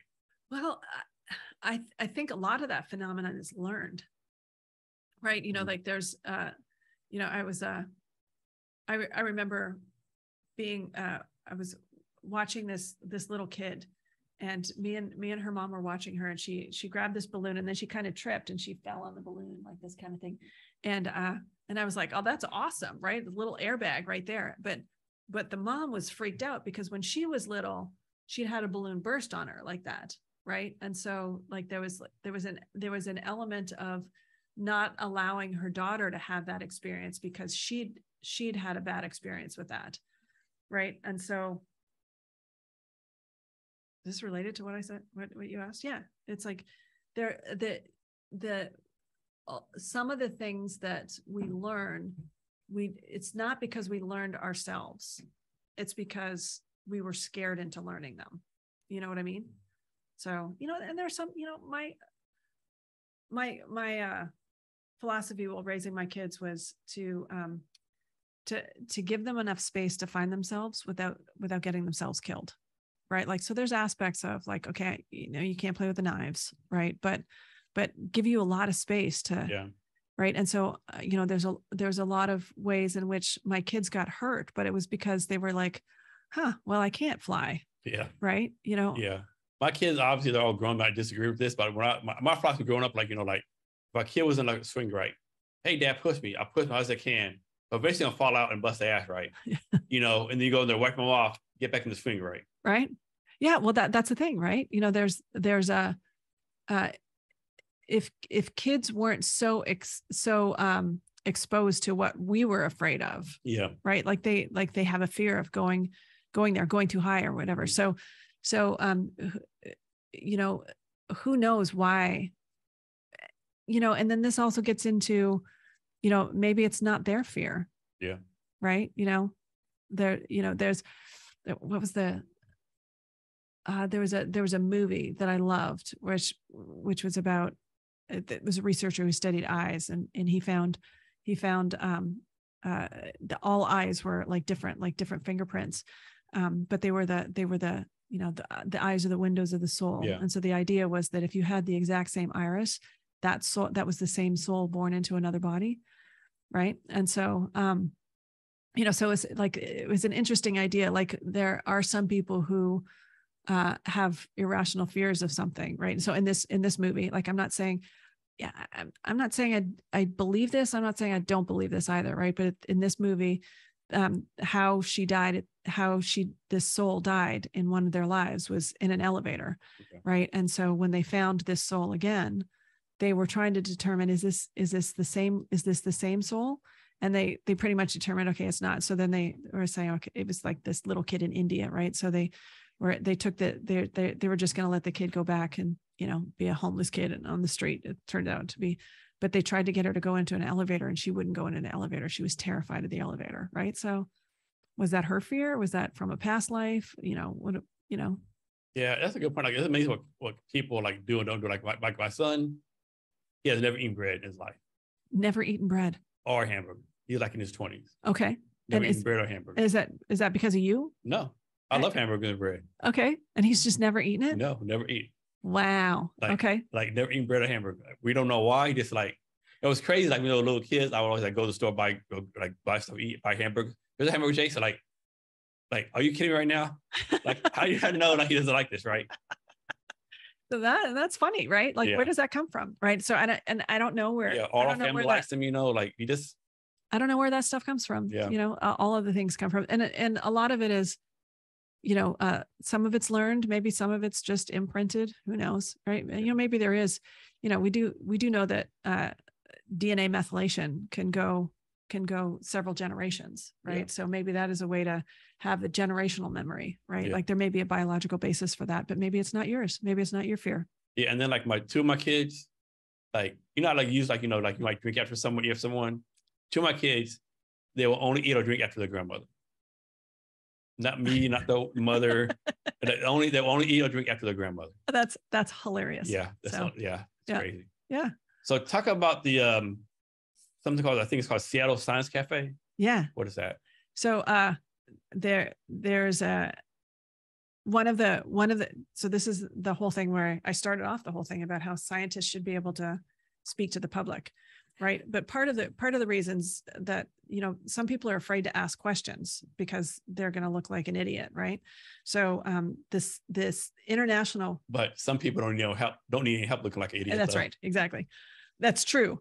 But um but you know when you're asking questions right this goes back to a good idea or a bad idea. Like what if you could talk to an expert in the field and be able to ask any question at all like even a stupid question right um, and so that's the idea around the science cafes, and it's an international movement. And uh, in in Seattle, um, we I was I was like, this is we've got to bring this to Seattle. And I I met up with a woman named Gretchen because I wasn't, you know, she was all about about creating venues and getting the venues and all that. And so she had that handle. She says the thing that I can't do is like get people to come talk. And I was like, that's that's what I love to do, right? Like I love to in, invite people to come talk and and give these kinds of give these kinds of talks. So we were founders, we we founded the uh, Science on Tap, right, which is a, a the Seattle Science Cafe, and uh, you know, and what you do is you you bring a scientist in and they talk for 20 minutes, and then the rest of the time, and you've got a beer, right, which helps loosen you know any inhibitions, right, exactly.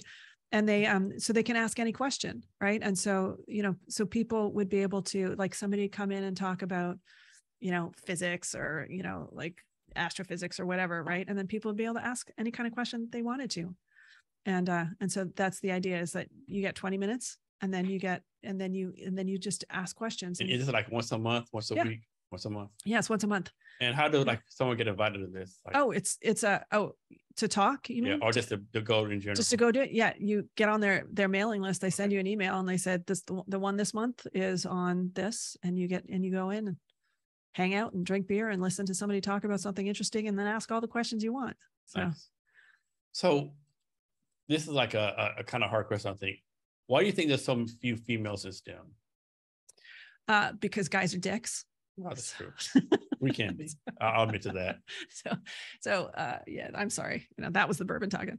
Um, I mean, I, and there's stats out there that show like you know, like in elementary school, like 80% of females are interested in STEM in elementary school. Because it drops down to 10% in high school. Yeah, it's because it's because it's uh it's when when you are told that you can't do something because of something you've got no control over, right? It like, you know, it's at some point you know the the the worst the worst thing about somebody saying so you know how they talk about sticks and stones will break my names will never hurt me um it's it's not true. I've got a there's a there's a there's a great there's a great joke or or moral story you could say you know there's the, the umpires right?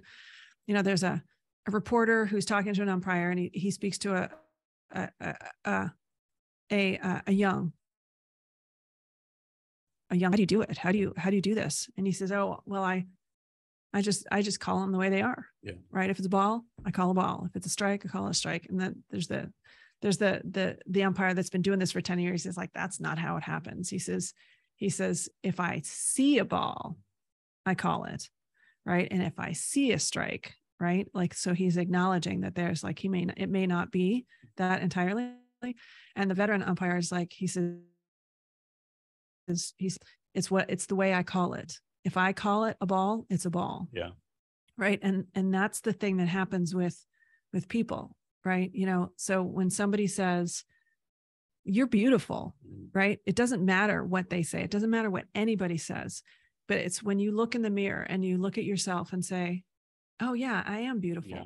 that's that's the only that's the only voice that matters even though even though we talk about it like it's what other people say but it's not it's because it's it's what's going on in our own mind and so if you get told enough that you're stupid yeah. or you don't belong you eventually use and you get and you have so much evidence piling up that i'm not wanted here right? Or that somebody thinks that i shouldn't be doing this. Yeah. you start to believe it right? And i think that's what happens for girls in science right? In stem is that they uh, they get told enough right? You know i there's so many stories and both men and women right? You know one of my one of my best friends in grad school um, was told that he was an idiot and he you know he shouldn't go into math right? And he got his physics degree right? You know so you know it's it's i think it's imp- there's no such thing as a bad idea right? When you're when you're with a young kid yeah.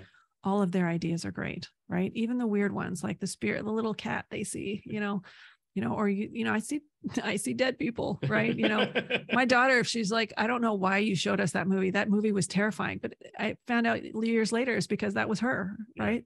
She didn't know what to do with it either so like how many times you know you have a little girl you know don't play in the mud right? Or don't do it how many times you tell kids like parents tell kids don't jump the mud puddle but like them the mud puddle like experience from them right? To learn the stuff. Not only that but it's probably good for their their immune system as well yeah. right? So so they're healthier all the way around. So let's talk about your own business. Yeah. So first of all like for your business how do you figure out your pricing model right? I think so many people they start a business they like charge way too less right? Yeah. Like how do you make sure like charge the value needed without you know like without price gouging your customers like how do you come to a balance? Uh, yeah i um it's it's so funny because there it it all depends on how i'm feeling about myself too right? You know um i you know i was working for uh i was working for somebody right? And and there and and i was like okay just just go like say the the biggest thing right? And i was and i was like okay i'm going to ask for $150 an hour right? And uh she's like great right? And you know it's like you're like damn i said for three exactly right? And in that damn moment it. right? And so but then there was like and then i had to deal with that that's how much i'm worth right? You know th- that's how much i'm worth. And the funny thing is i mean $150 that's a lot of money then again it's not a lot it's not a lot of money right? Especially like the kind of the kind of expertise that i bring to things now. And to you know to be straight about it i haven't i haven't upped my rates since i did that right? Because that was like such a freaking breakthrough right? You know like you know um but then you know and i've had and i've had people say well I, i'm i'm willing to pay you $75 an hour like and so you know and you know and i can take that or not right? But there isn't there is a and i'm i you know i'm kind of privileged right now in that i can you know i don't have to work right? Because i've because I've I've found like uh, you know I just I, I left a salaried position right and then I just took a break. I was like I don't I don't want to do anything for a while. And that's when I started like reading up on psychedelics yeah. and like learning about the whole world and experimenting in that in that realm and and then I'm uh, I also I sing for a a threshold choir. So I left I left the Catholic Church and you know and then started singing for Threshold, which is singing for people on the threshold of life right? And so there's that there's that whole world of how we are about death right? We're awful about death right? We don't want to talk about it um, uh, things like that. So you know they, that's one of the things i'm committed to is just transforming how we how we relate to death right? And so like i want to do some of that and i like riding my bike and so i volunteer while riding my bike kind of thing and i realize that how much how much do i need really like how much do I need? And I've a, a lot of time I've I've based it based on, on, that, right? You know, I've got a, you know, I, I'm consulting on a grant that's in at the NI at the NIH, and I, you know, I said 150 an hour, right? But you know, I'm working on this other project that I love that for just. Well, I'll say based on what you need and your value would be two different things, right? Yeah, absolutely.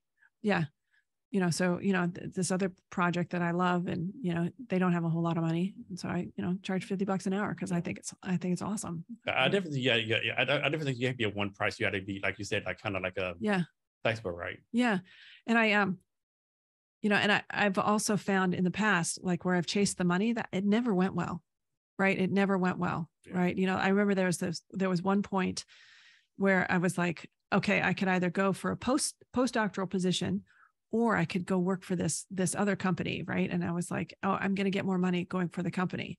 So I went to work for them, and it turns out that I was going to be paid way less than I would have been paid as a postdoc, right? And I, you know, ended up being fired from that company because you know wasn't that great anyway. Yeah. right. I ended up in neuroscience anyway. Right. But it was a, uh, yeah. So there's, there's an element of, um, every time I've gone, I've chased the money. It hasn't been, it I love to do. Right. And I, and I've, I've found like, I don't, I don't want to work for the weekend, right? I really do. Uh, you know, when I take a job, I really want it to be intellectually stimulating yeah. and and give me, you know, what I need elsewhere as well. Because there's a, you know there's a lot of the value that i provide doesn't isn't paid for right like i you know one of the things that i do is i create a really great space right you, you know so like people can people can say all sorts of things can you know i can i can talk to people and give them you know what they need like to empower them. Um you know and that i've never been paid for that but i've been doing that for 20 30 years so. So talk about this talk about your process or basically it's like the whole process or journey from becoming going going from working somewhere else to deciding to be entrepreneur to starting a company like how did that yeah. whole thing? Um well the the the first time i i did it which was uh right after i left so about uh, 2004 i was like i don't know how to do i don't like i don't know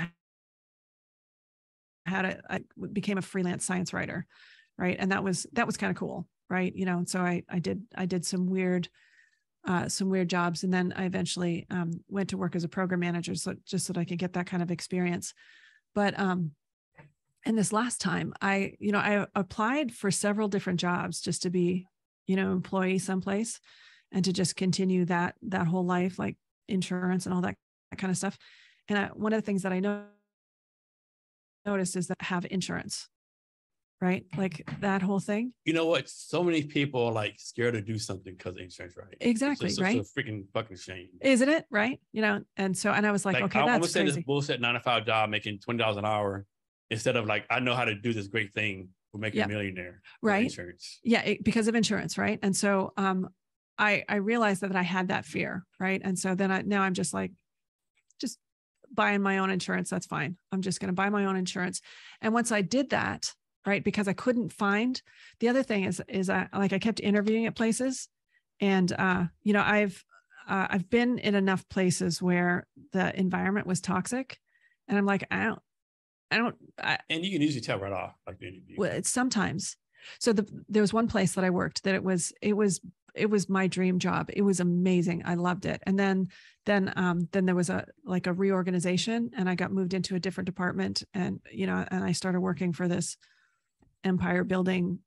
She, she, she was horrible. jackass motherfucker. Yeah so she was horrible right? And i and i was like i was miserable because that was going to be my last job right i loved working there and uh and then the reason i the reason i left is you know i, I went to a, a you know i was mentoring i was i was mentoring some kids in science right and uh the there was a, a, a vp of hr who was talking and he and that's when he said you know most managers are awful. They don't know how to manage. Yeah. And people don't leave a company, they leave a manager. Yeah. And it was in that moment that I realized that I had to leave that company. So uh, I'll push back that I don't think people leave companies with bad managers. People leave companies that tolerate bad managers. Yeah. Right. Well, almost nobody has a great management program. Like, yeah. you know, you no, promote somebody for doing a good job into a management position, but then they don't give them the skills that yeah, they need. Called, I think it's called the Peter principle. With uh, the Peter principle, yeah, or like yeah. you, you're promoted outside your expertise. Yeah, and so um and and so uh you know when I was interviewing, I was looking for positions that I I was mostly looking, okay, like, could I do this job? You know, this job is interesting, right? You know, it's intellectually stimulating all this. And then I I just went all in, like, tell me about the company. And and you could you could tell by how they would talk about things. And and after, you know, for like it was interview after interview, I was just like, oh my God, I don't want to work there. Yeah. Right. And so then I was like, well, hell, shit, what do I do now? Right. And then uh, and so then I was like, well, you know, and and and in the meantime, I was I was doing stuff like you know I, I, started volunteering more for the food bank mm-hmm. and and then i was singing more and then getting my getting trained to be a hospice hospice um, volunteer and I, like all, all, this time you know my mom lives at home and she's getting older and then you know my you know the whole thing about covid like yeah. supporting my kids like coming out of that whole hellscape right all of that like there's a lot of other things and i was like i really like not working 40 hours a week mm-hmm. like what if i what if i could work 20 hours a week and i'm like wow i don't I could, yeah, I could easily work 20 hours a week and have all the stuff that I want. Right. Easily, and, yeah. and do, and do the things that are fulfilling, right? Like go on this spiritual journey, right? You know? Yeah, one so. thing I tell people when they're in for a job, like first of all, if you're in for a job, you ask questions, right? Yeah. So I tell people if you're in for a job, you usually like a panel of four, three or four people. Ask them what you not like about this company. Oh yeah. And like you was I people you'd be surprised how honest people are right? Well they, t- they and they talk about it. Yeah. Oh yeah that's that's really cool. Yeah because i always ask them you know i ask stuff like uh what kind of management training you got? Mm-hmm. right? You know and so there are some that are like you know we're really excited about this. We've got this. And i'm like oh okay. Right? You know and so but mostly you know i so there's very few companies that i think i would like to work for. Mm-hmm. you know i would like to work for maps right? Yeah. that's that's one of the companies oh, yeah. that i would like to work for right? But again um, you never know right you might be a toxic company, you know, like right. You never know, right? You never know. Ex- it might be like, you know. Actually, I do I do lunch club dates. Have you ever done those? No. It's lunch club. It's just a networking thing. I I started doing it when I when I went remote, um, because I was like at home, right? And I wanted, you know, I'm an extrovert. And so then I, you know, I'd get to leave once a week and go have coffee with a total stranger and talk yeah. about stuff, right? Okay. You know, and the algorithm algorithm was pretty good. So I was usually matched up with people who had who were interesting people, right? Yeah and so and, I, and I've been doing that lately. And uh, there's why there was a reason I was telling you that.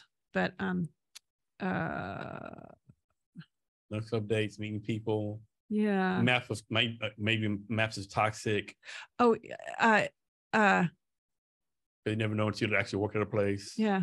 I have no idea why I was why I was saying all that, but I was just talking. Oh, I was just talking. I was talking to somebody, and they said something. It was so true, and I can't remember what it was. So no worries. That's also the bourbon.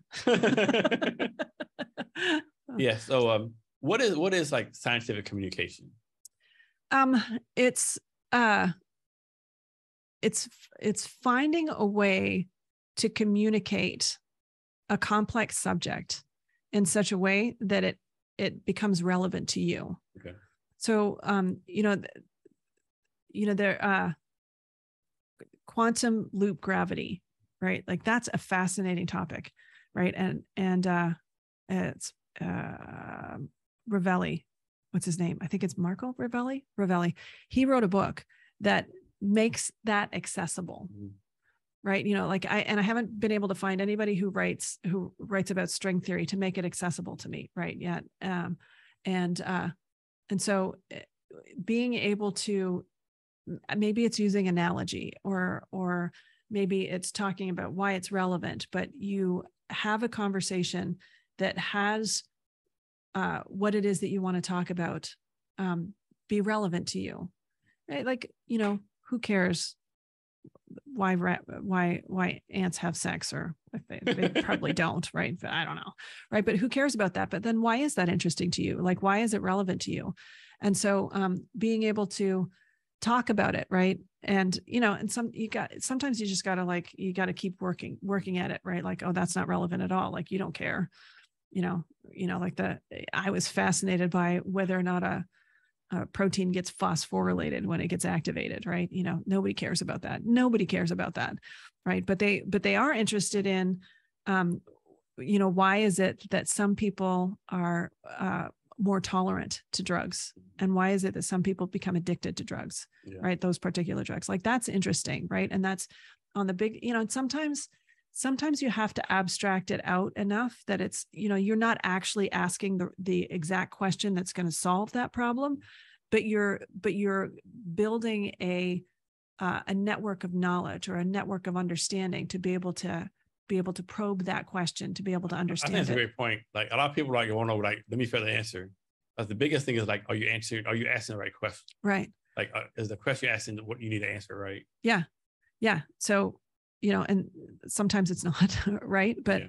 you know, but sometimes, and sometimes you have to ask a different question before you can answer that question, and then then you're off on a tangent, right? And so, you know, like we found something interesting here, right? And we just kept going there and we never answered that question. So it, it's like, you know, it, there's something about, you know, following your nose, like mm-hmm. following, following where you get interested, you know, and I think that's kind of why I love science because, you know, you can just start with something like, you know, dirt's interesting, right? Like I like dirt, right? And then you could start. I mean, if you're a farmer, you better be damn interested in dirt. Exactly, right? But then then you can do all sorts of things yeah. like like what can I grow in this dirt, yeah. right? Or the dirt in India is different than different in North America yeah. versus from this and place. You know, like this dirt grows this, this dirt grows that. You know and this like there's living stuff in this dirt. Mm-hmm. i didn't know so much stuff could live in this dirt yeah. right? You know like how far down before things aren't living in the dirt right? Yeah you can put like you like you like you dig in your front yard like there's like worms moles like right? There's all sorts of stuff right? And so there's so eh, you know if you just fo- and you can see the tangents right? You can mm-hmm. follow any of those. So i love i love uh, letting people explore that right? I i love it when people are curious right? Let's suppose someone's out there they could be eight years old, 45 years old, whatever age, right? And they're like, you know what? I, you know, and they have like a, let's say you have a high school diploma, right? Or let me backtrack. You can't have like, hopefully you don't, you maybe have high school diploma eight, right? Yeah. But when your age, right? You're curious, right? Like, you know what? I want to be a scientist. What advice you have for them? Um, do it. Do it. And and here's the here's the other thing. It's you already they are assigned. You know, you don't have any credentials. There's a there's there's a way to science right? But if you are curious enough to say i want to be a scientist then you already are okay. right? You you're science minded you're curious go for it. Just you know start experimenting right? Like there there are there are technicalities that you need to know right? Like you know how to you need to know how to reproduce an experiment mm-hmm. right? Like because because otherwise you don't really know for sure what happened right? And mostly because of entropy and all of the initial conditions we don't know what's happened anyway but you can try and control it enough to be able to ask the right the right kind of question to be able to answer the thing that you're looking for. But not when you get into complex systems. So yeah so it's wow there i go. Tangent again. What does it mean to be peer reviewed? Um so you write a paper and you have an idea and you think that you've uh, come to a conclusion about something you've done a whole bunch of experiments. And so you write it all up. So and you you just write up the the pertinent ones and then you take that document and you give it to other scientists to look at. And so does it matter the level of the scientist like does it matter the scientist like one year scientist 25 year scientist? Uh, people would probably say yeah it, that that that matters. Um, the peer review process is kind of interesting. It's a it's a job that scientists do that they don't get paid for right? You know the the public funds. So it's like the good good of the scientific community. Exactly. It it really is. You know, and uh, and so and and then sometimes so the idea is ideally you wouldn't know who the authors are right okay. you would just look at the science and look at the conclusions they came to and uh, hopefully you would have enough like there's there are some people that have enough experience to know okay you can't do that experiment and get the right results unless you have the right buffer. And it can be any, it can be scientists in the united states india china russia. Right okay. right. Well yeah but mostly yeah i don't i don't yeah i, I i've never been an editor for uh, but so one of the jobs of an editor is to find people who'd be willing to read other people's papers and then to comment on them. And un- i'm guessing these papers like no it's not like, like a one page like a summary it's like these like like oh yeah full documents. Yeah. documents. Yeah. Yeah. With all the experiments and sometimes supplementary information. And depending on the level of the journal, right? You know, you've got to So make, it's not a one hour job. No, no. You're yeah. like you're dedicating some a good amount of time. Yeah. There's a lot of there's a lot of time to look and then and then also so you may be able to see right away that this this is problematic. Like you shouldn't do you shouldn't do this kind of an experiment to to get the the answer here or you shouldn't have done this kind of statistics to determine if something actually happened you know that's when i when i moved from physics into biology right there was a there was one of my best friends in grad school. He was also a physicist. And uh and then we moved into biology and and our our advisor was talking about says so in biology you know you've got something like this you know so it's like 50 50% chance that there's something happening and then you change it. And maybe there's a 30% and i was like how do you know anything ever happened? Because in physics it's like yes or no it's like 99.9% right? And he was like annoyed right? Because because it's like you know so it's like sometimes you have to do because the systems are so noisy right? You know you know ecosystems are crazy noisy right? You do statistics to see like is this actually is this a statistically significant result that we found? And so um and so you know sometimes the statistics are wrong. Maybe the experiment was fine or maybe there was something missing in the experiment or maybe they missed a control right? Like you should also measure this you know that's that's one of the things that cracks me up about psychedelics right is that um you know um, in all drug studies you have to have a placebo control right? Which means that they're not getting the drug but they don't know whether or not they're getting the drug except that if you're on a, a psychedelic you almost always know that you got you got the the drug right? Yeah so. you don't get it you, you probably know too you know. Exactly unless you, unless you never had it i guess. Well no it's not not well yeah maybe right? They they they talk about you know uh, i was i was talking to somebody about it. He says no you have to have a placebo tr- control. And i was like well how are you going to do that with a psychedelic right? You know there's there's this joke, right, where you've got all these people sitting around on a sectional, right, and they're looking at this the group in the center. There's there's like five of them in the center, and they're all naked and they're dancing and yeah. they're holding hands. They're like, well, I guess I guess we know who got the placebo.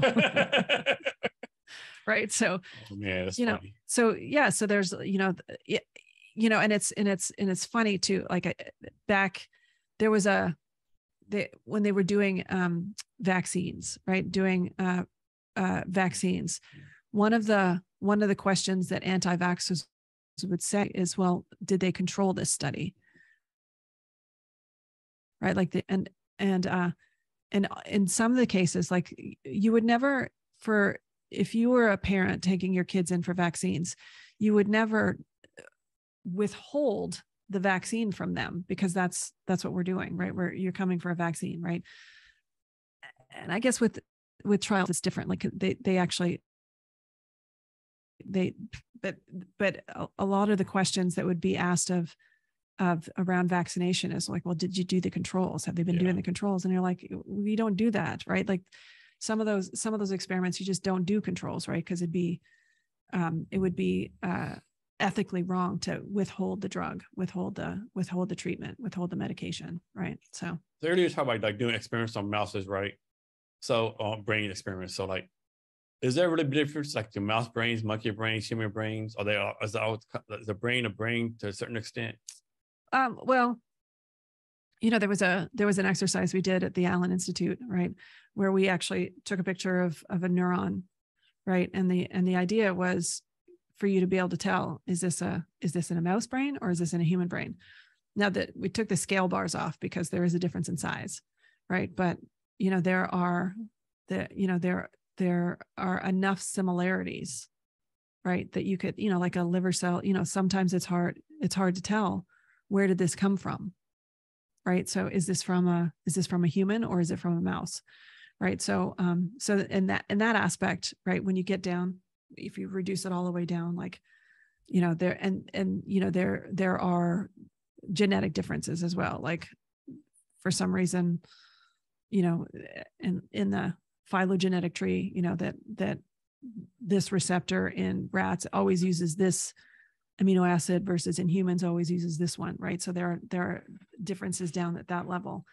But um, so so there depending on at what level you're looking at, um, there there are definitely are differences and there are things that are incomplete. You know, like we have models for Alzheimer's in mice, but we don't fully understand Alzheimer's in humans. So we've got some of the markers of what we think is Alzheimer's in humans in mice, and we call that an Alzheimer's model. You know what I mean? So it's like there's there's a, a lot of ways in which the extrapolation we extrapolate, but we don't know for sure if it's an accurate model of what it is that we're looking at. Yeah. Um, so for your own, own company, what actually does your company do? Well, let me backtrack. So for your own company that you have, is it are you a HR, are you a consultant or do you have your own company? I, am a consultant, yeah, and I've got my own LLC. So LLC, yeah, yeah. So can you talk about like how you how you started this journey? Yeah, and then like the, where you're focusing now, what you see your future plans are. Yeah. So um, so I worked for a startup uh, company that was the the graph database, and it's a ex- extraordinary platform. And um, when I started working when I started working there, it was uh, mostly customized, so based on the clients that we were working with and what they what they wanted. But what we what we really wanted was a a uh, a product that we could just ship, right? And then people would use the product and the different features. Um, and uh, so I worked with with I worked with our clients. So depending on you know their academics and industry and government, so we worked across you know across, all the, the different kinds of industries. Mostly what they had in common is they they had a comp mapping their ecosystem. Um, and so I did a lot of working with the clientele to understand their problem and to see how we could we could help them, and then um, sending that information back to the dev team um, the it's a start it was a startup and so the runway got really short and so uh, the the company downsized to work solely on the project and i was doing a lot of the consulting stuff. And so um, the consulting like stuff. Stuff so I, I still use that platform right? And i and i work with people who have complex problems. So I, i'm i like they they will refer people to me to work with them. So and I and I and I also work with people who just have a complex problem that they're trying to understand or innovate around. Um, so that's that's how it started, right? And uh, and I I find that I like that. Like I like being able to work with people who are. And when I say a complex problem, I don't mean like you know a compli- a complicated problem is going to the moon, right? But there's like it's specific. It's like you can you can do that. You can do that with just notebooks, right? And looking at charts, right? Um, but a complex problem is like how do we how do we have people live on the moon like what is that going to take to have it to have a, a viable colony on the moon that, that's a complex problem right? And and most of the complexity is going to be in the relationships right? And so that's why a graph database right? And so it's like it's being able to so i like working with somebody to be able to map out their their ecosystem. And especially in like in business you know, if you have a couple people working in the business, they'll have an idea of what their system looks like, right? But they don't know that their their own personal models are distinct from each other until you put it into put it into a boundary object object like i said earlier right a way to be able to look at it and see oh uh, okay i didn't think i i didn't relate to the, our model like this thing is connected to this thing and then and then it goes on to do this thing right i actually was thinking more from like the production point of view, right? Like they have a different point of view and you can actually have them align their models. So I like working those kinds of complex circumstances um, in those cases to like make it to visualize it and to make it simpler and to be able to show them things that were hidden beforehand just to streamline the whole process and make it make it easier to either innovate or just to use the resources that they have or just to keep track of shit so who is your perfect customer and how do you find them? That's a good question. That's a really good question. Um, so the the the perfect customer is somebody who is um, they have a problem, they have a, a situation, they have something that they're working on, and they realize that it's way more complex than they thought, and they're interested in finding a way to understand the problem right? And to to um, being willing to to look at different different avenues and somebody who understands like the you know um, a lot of people do in databases right rows and columns like they understand most things don't happen in rows and columns that just happened to be an easy way for us to like to be able to map it out to, to understand it. Um, people understand that we need to go beyond rows and columns to be able to to map out something that's pretty complex. Also somebody who is in a position you know there's a there's uh, we call them facilitators. So they're and and they're not people who keep minutes in meetings but but somebody who like sees the big picture and realizes that if this person and this person were talking about the right kind of thing that would be magic right? And so um uh, but it's and and they're, they're often the people that are overlooked right? Like they're the ones that like the, the glue that keep the company together right? But um you know they're often the the first people to get fired. And then later when they when when they go back and they're like wow i guess i guess that person did do a lot. It didn't look like they were doing a lot here. You know they just you know they talk to a lot of different people and all this kind of stuff. They're usually the ones that are that are not um acknowledged or they you know it's so it's the, the person who understands that kind of complexity and being able to get people in the right positions. So those are my perfect customers. So funny story if you're like so i was an army officer army I was facing a career right, two ID right. And so I'd been like two or three months right. This one guy, he was like a PSC at the time, right? And I always walk by his desk. He was like, hit a computer screen, right? But he was like, he would never do nothing. He just looked at the computer screen, right? So one day I I, talk, I called like three people below me, like, hey, what's going on with this guy, right? Like he does nothing, right? We got to get rid of him. And all said at the same time, sir, if we get rid of him, we'll all get fired. Understood. let's get, let's get this guy promoted, right? Right. I so, no clue what he did, right? Yeah. I know what he's supposed to do, but he's like doing stuff like, oh, he's doing all this stuff, right? I had no idea what he did, right? It's my people told me. Yeah. So yeah, it's uh yeah. So it's I like working with those people that are like the hubs of all of it, you know, who have their hands in a lot of a lot of different things and understand what's having the thing work. Because also if they're if they're in that position and they understand it, right, they they they're committed to they're committed to something. They're committed to moving the needle in some aspect. And i i love working with people like that. I love working with people who are um, uh, who are are committed to making a difference. Like they really do they really are interested you know making money is fine right? But you know, it's it's like the the least. I mean, until they bring thing. in UBI, you got to make some money, right? right, right. So or hit the lottery. Yeah, right, exactly. But you know, but have that, but having that, having that be like, you know, uh, you know, I like doing this thing, and it happens to make me a lot of money, mm-hmm. right? Versus, you know, like I'm doing this to make enough money, right? I'm doing, you know, like that's, you know, I find that that's I mean, the least the interesting. People say, you know, you want to make a hundred thousand dollars a year, but work eight hours a week, or you want to make fifty thousand and do with it how you want to, you know? Yeah. Yeah. It's a good question. Right. You know, uh, and, you know, I, I'm lucky enough that I could ask, you know, I could actually, I could do that. Like, I don't have to make a whole, I, like, I don't, I, I'm not in, I'm not in, um, like survival mode.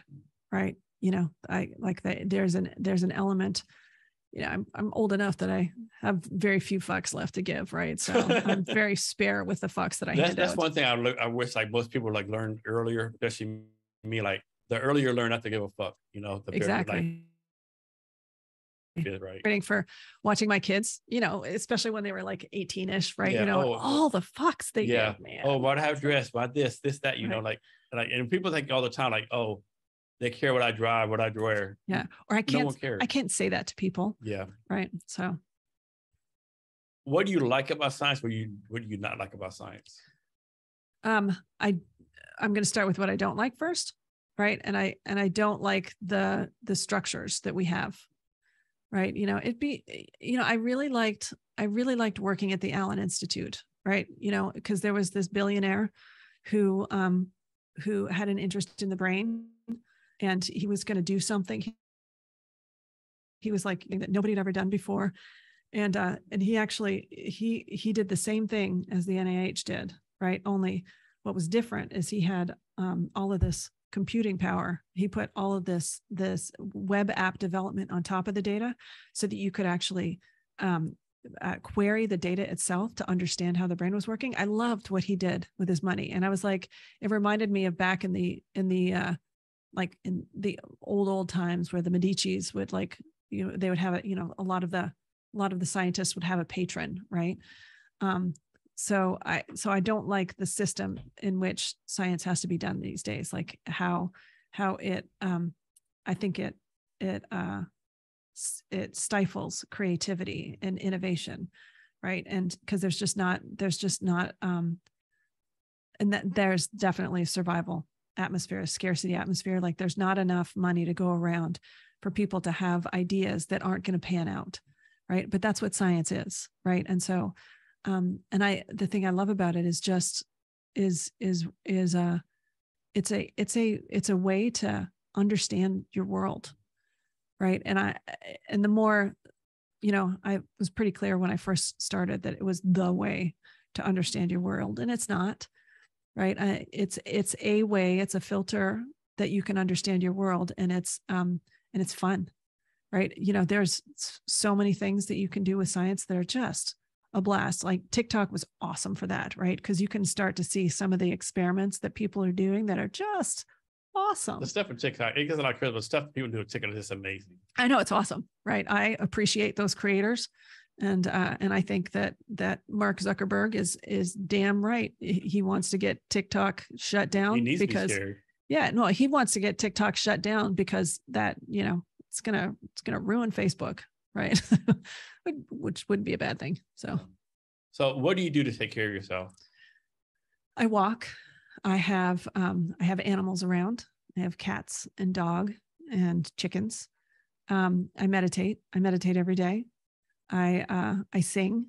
I uh, I I volunteer. You know, I I deliver groceries for the food bank, right? You know, on my bike, right? You know, it's like so I get to exercise as well as do that. Um, uh, I I did this thing called the artist's way, uh, right? You know, I'll take myself on a date, right? You know, just to you know to de- to decompress, right?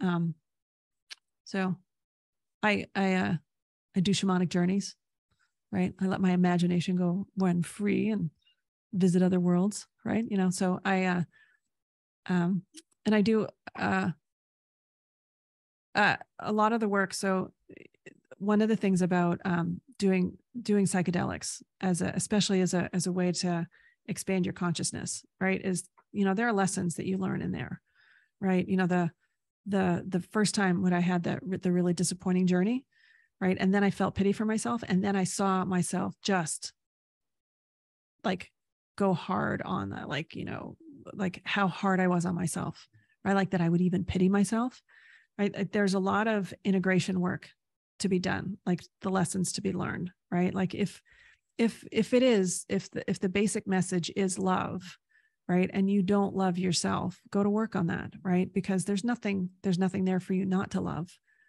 right? There's like there's there's nothing wrong with you. There's you know a lot of people have um, feel like they under they understand themselves better than anybody else right? And so they think that they're right when there's when they're when they're picking on the thing that's wrong with themselves. So you know i you know uh, there's a lot of inter- integration work that i'm that i'm doing right? You know like the taking taking apart all of the assumptions that I have in the uh, in the world. So there's a lot of introspective work on that one, a lot of journaling. I like to write. So I do I do a lot of the, that work that way, like sorting stuff out like that. So what's something that you do that you want to get better at? Um, blogging. Blogging. Yeah, yeah. You know, I I used to blog just because I fucking loved it. Right, like, you know, I was uh sitting down and they were pulling down a tree from in front of the the school across the street. And i i had the thought like do trees have do trees feel pain? And then i went i looked it up and i was like found out all this stuff. And i wrote it up really quick and i didn't care about you know how accurate it was yeah. or anything. I posted it right? It was like it was awesome right? And i did a lot of that.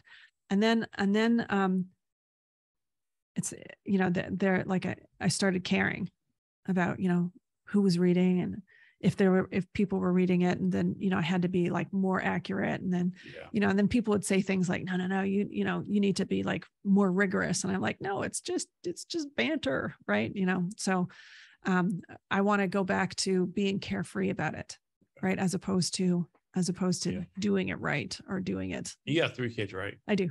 And all the all out of the house now high school age college age? Uh, there two of them are out of the house. One of them is is still at home. Okay so how do you do this? How do you make sure like you didn't influence them? Like how put this? Like how as a parent do you make sure like you don't influence them to like follow your path? Like like not not person because you know freedom at the same to do that. If that of course makes any sense. Well, that's yeah. Like uh, they're uh um you know that whole thing that I said about give them a space enough space to find themselves without getting themselves killed.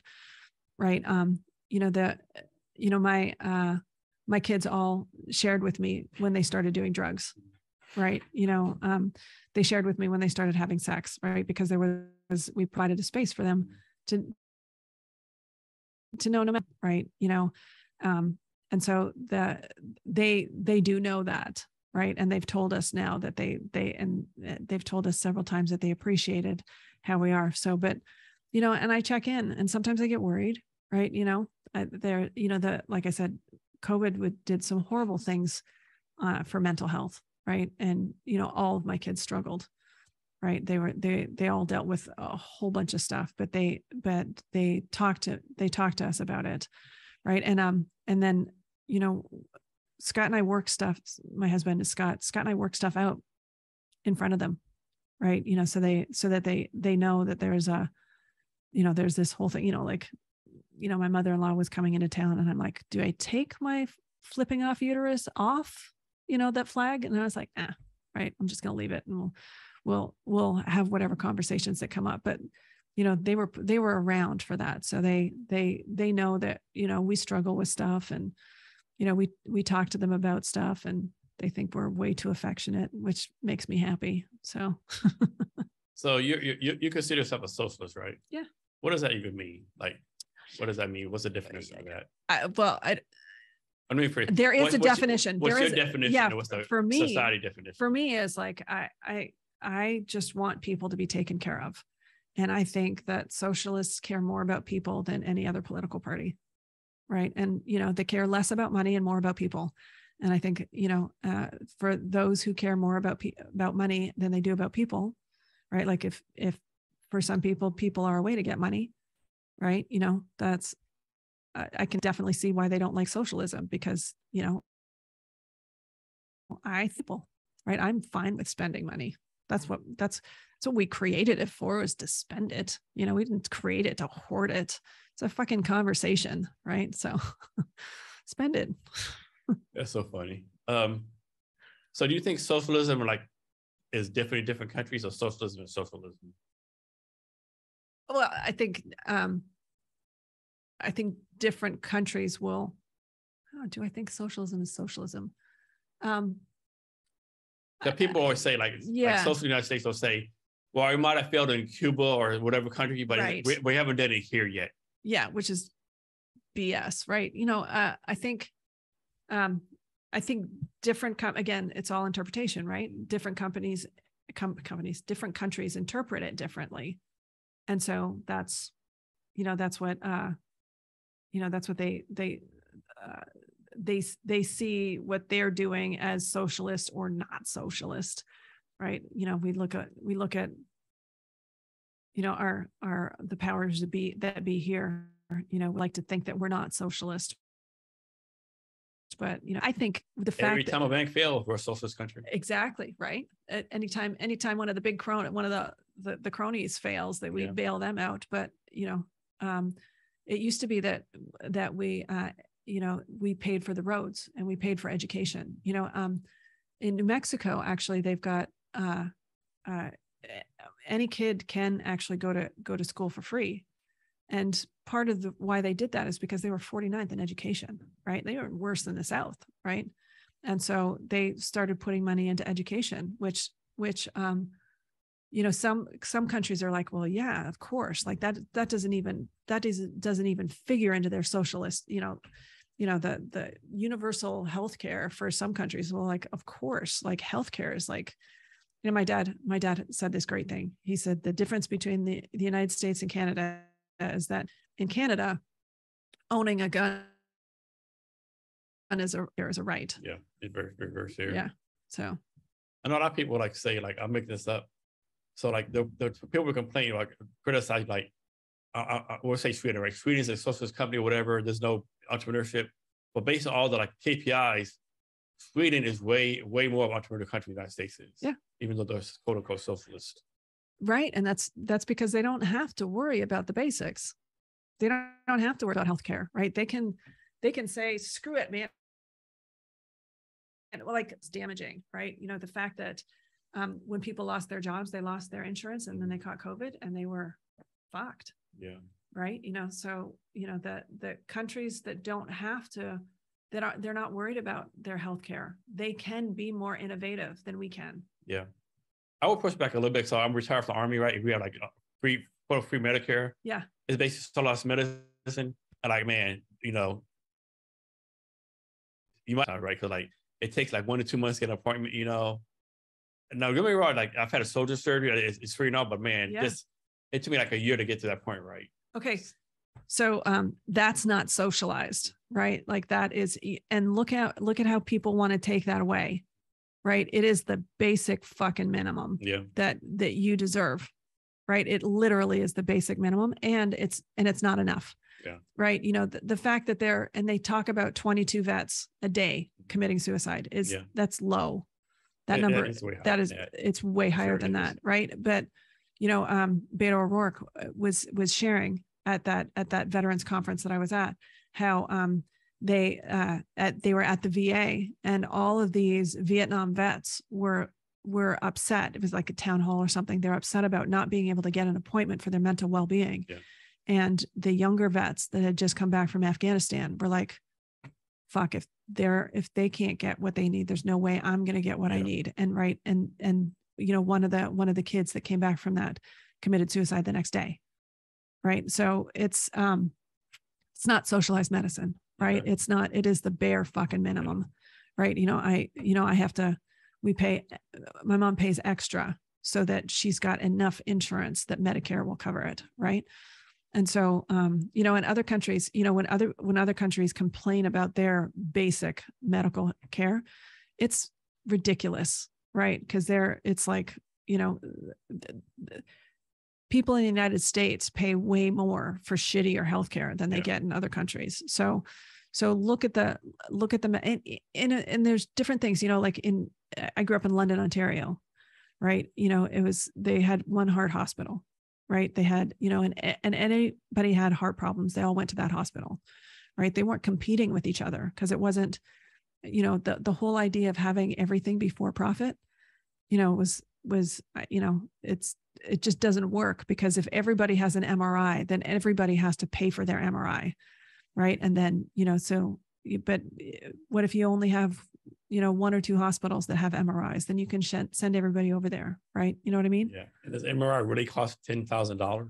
You yeah. know? No, but to pay for the machine, they have to cover it somehow, yeah. right? So, you know, uh, you know, if if the machine was already paid for, right? You know, so and if you've got four machines in the in the building, that's true, right? And every hospital has four machines, and so they have to like compete for your com- compete for your dollars so they can pay for their fucking machines. Right? Yeah, and you have the doctors like you know they have this tremendous amount of debt come out of a doctor school. Right, we say three hundred thousand dollars, right? Are they going to go like do a be a plastic surgeon? Help do they help no one? Or going to go to a rural hospital, right? Mm-hmm. They, got, they have to make the money back, right? Yeah, right, and which is why you know there's you know socialist social programs for uh for uh debt forgiveness, mm-hmm. right? So yeah, the that you know and what if what if um, going to medical school like you know you got paid $400000 that's a lot of money yeah. right nobody needs you know a lot more than that you'd be surprised though apparently like 25 million dollars is like a you know it's interesting just how skewed my kids are when they hear about the kinds of salaries that people you know i was when my when i was little my mom asked me how much money I wanted to make. And I said, I, I was going to make a hundred thousand dollars a year. And, and she laughed, right? Like nobody makes that much money now. Right. Um, but I remember thinking that, right. You know, that, that, that the hundred thousand dollars wasn't that much. Yeah. Right? That, that, back to that thing I, I saw AOC, like some show. And of course I'm assuming she knows what you're talking about, but she said that, uh, 80% of Americans make 60,000 less. Mm-hmm. And another thing, like there's another so exactly these females, right? Like trying to get trying to get a husband, like like how tall you want your husband to be? I only date someone six foot one or tall. Well, you know, only two percent of American of the population is six foot tall. Yeah. Well, how much you want to make? Oh, two hundred thousand. Only one percent make two hundred thousand dollars or more, right? exactly. I mean, most people like five eight or below and make like fifty thousand dollars a year. Right. So it's a, yeah, it's it's an interesting thing, like the, the what we we what we you know the uh what the ideal you know our standards and ideals ideal that's fantasy land. Yeah, and you know, being able to being able to uh, take a look at those and take those apart every once in a while is a good is a good practice. It's a good mental practice to be able to look at your assumptions. It is. Terri, is anything else I asked you that I didn't, or anything else you want to talk about? No, I uh, no, we talked about so many things. I've really enjoyed this conversation. Thank Thanks. you. Thanks. so before we get out of here, can you give us any advice on anything you want to talk about? Um, yeah, and I said it earlier, right? Uh, anything that you tell your brain to do, it will do it, right? Anything. So if you want to learn something new and just try it out, try it as an experiment, right? You know, you're going to, you know, give yourself a year to learn something, right? And then, and if you just keep practicing at it just once a week, like you said, you know, you will be way far beyond what you thought, you know, and anything. And I mean that about anything, practice anything. So, so last question. How do you make sure that you make sure your brain tells you positive things to do versus telling you negative things to do? Um you you got to notice right? I think I, uh, I say meditate you know because because you'll all of a sudden you'll start to hear things that you'd never heard before. Like i i heard myself say somebody asked me something and the thought i had was what you think i'm stupid? And i was like whoa. Like i'd never heard that before but but i heard it and then i was like do i do that a lot and then I realized I did it all the time. Like nobody could say shit to me because who I was was what you think I'm stupid? Right. And in fact, in fact, this last little story, right. Um, you know, I was, I was, uh, writing a, writing my very first grant.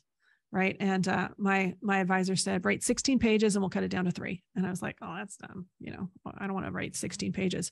Right. so finally it's like the, the, grant's due on tuesday and i've got like four pages right? And i just i took it to my advisor and i said this is the right he says 16 page and i said no i don't want to do that. Just tell me what i'm missing. He says well i need to see this. And i said it's in there. And he goes where? And i said right here.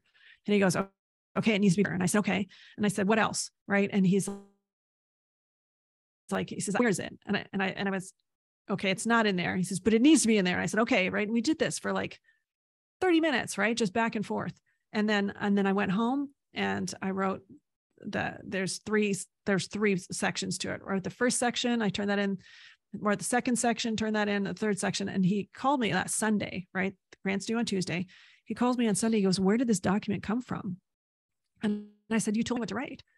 And he goes, "He's had the conversation like I had with you three times in my life." And the other two times, not only did they never come back to the lab, but they never came back to science. And I was like, oh, okay, well, it's because I already dealt with my conversation that I'm stupid. I don't, I don't think I'm stupid anymore. So everything you said to me, I didn't take it personally.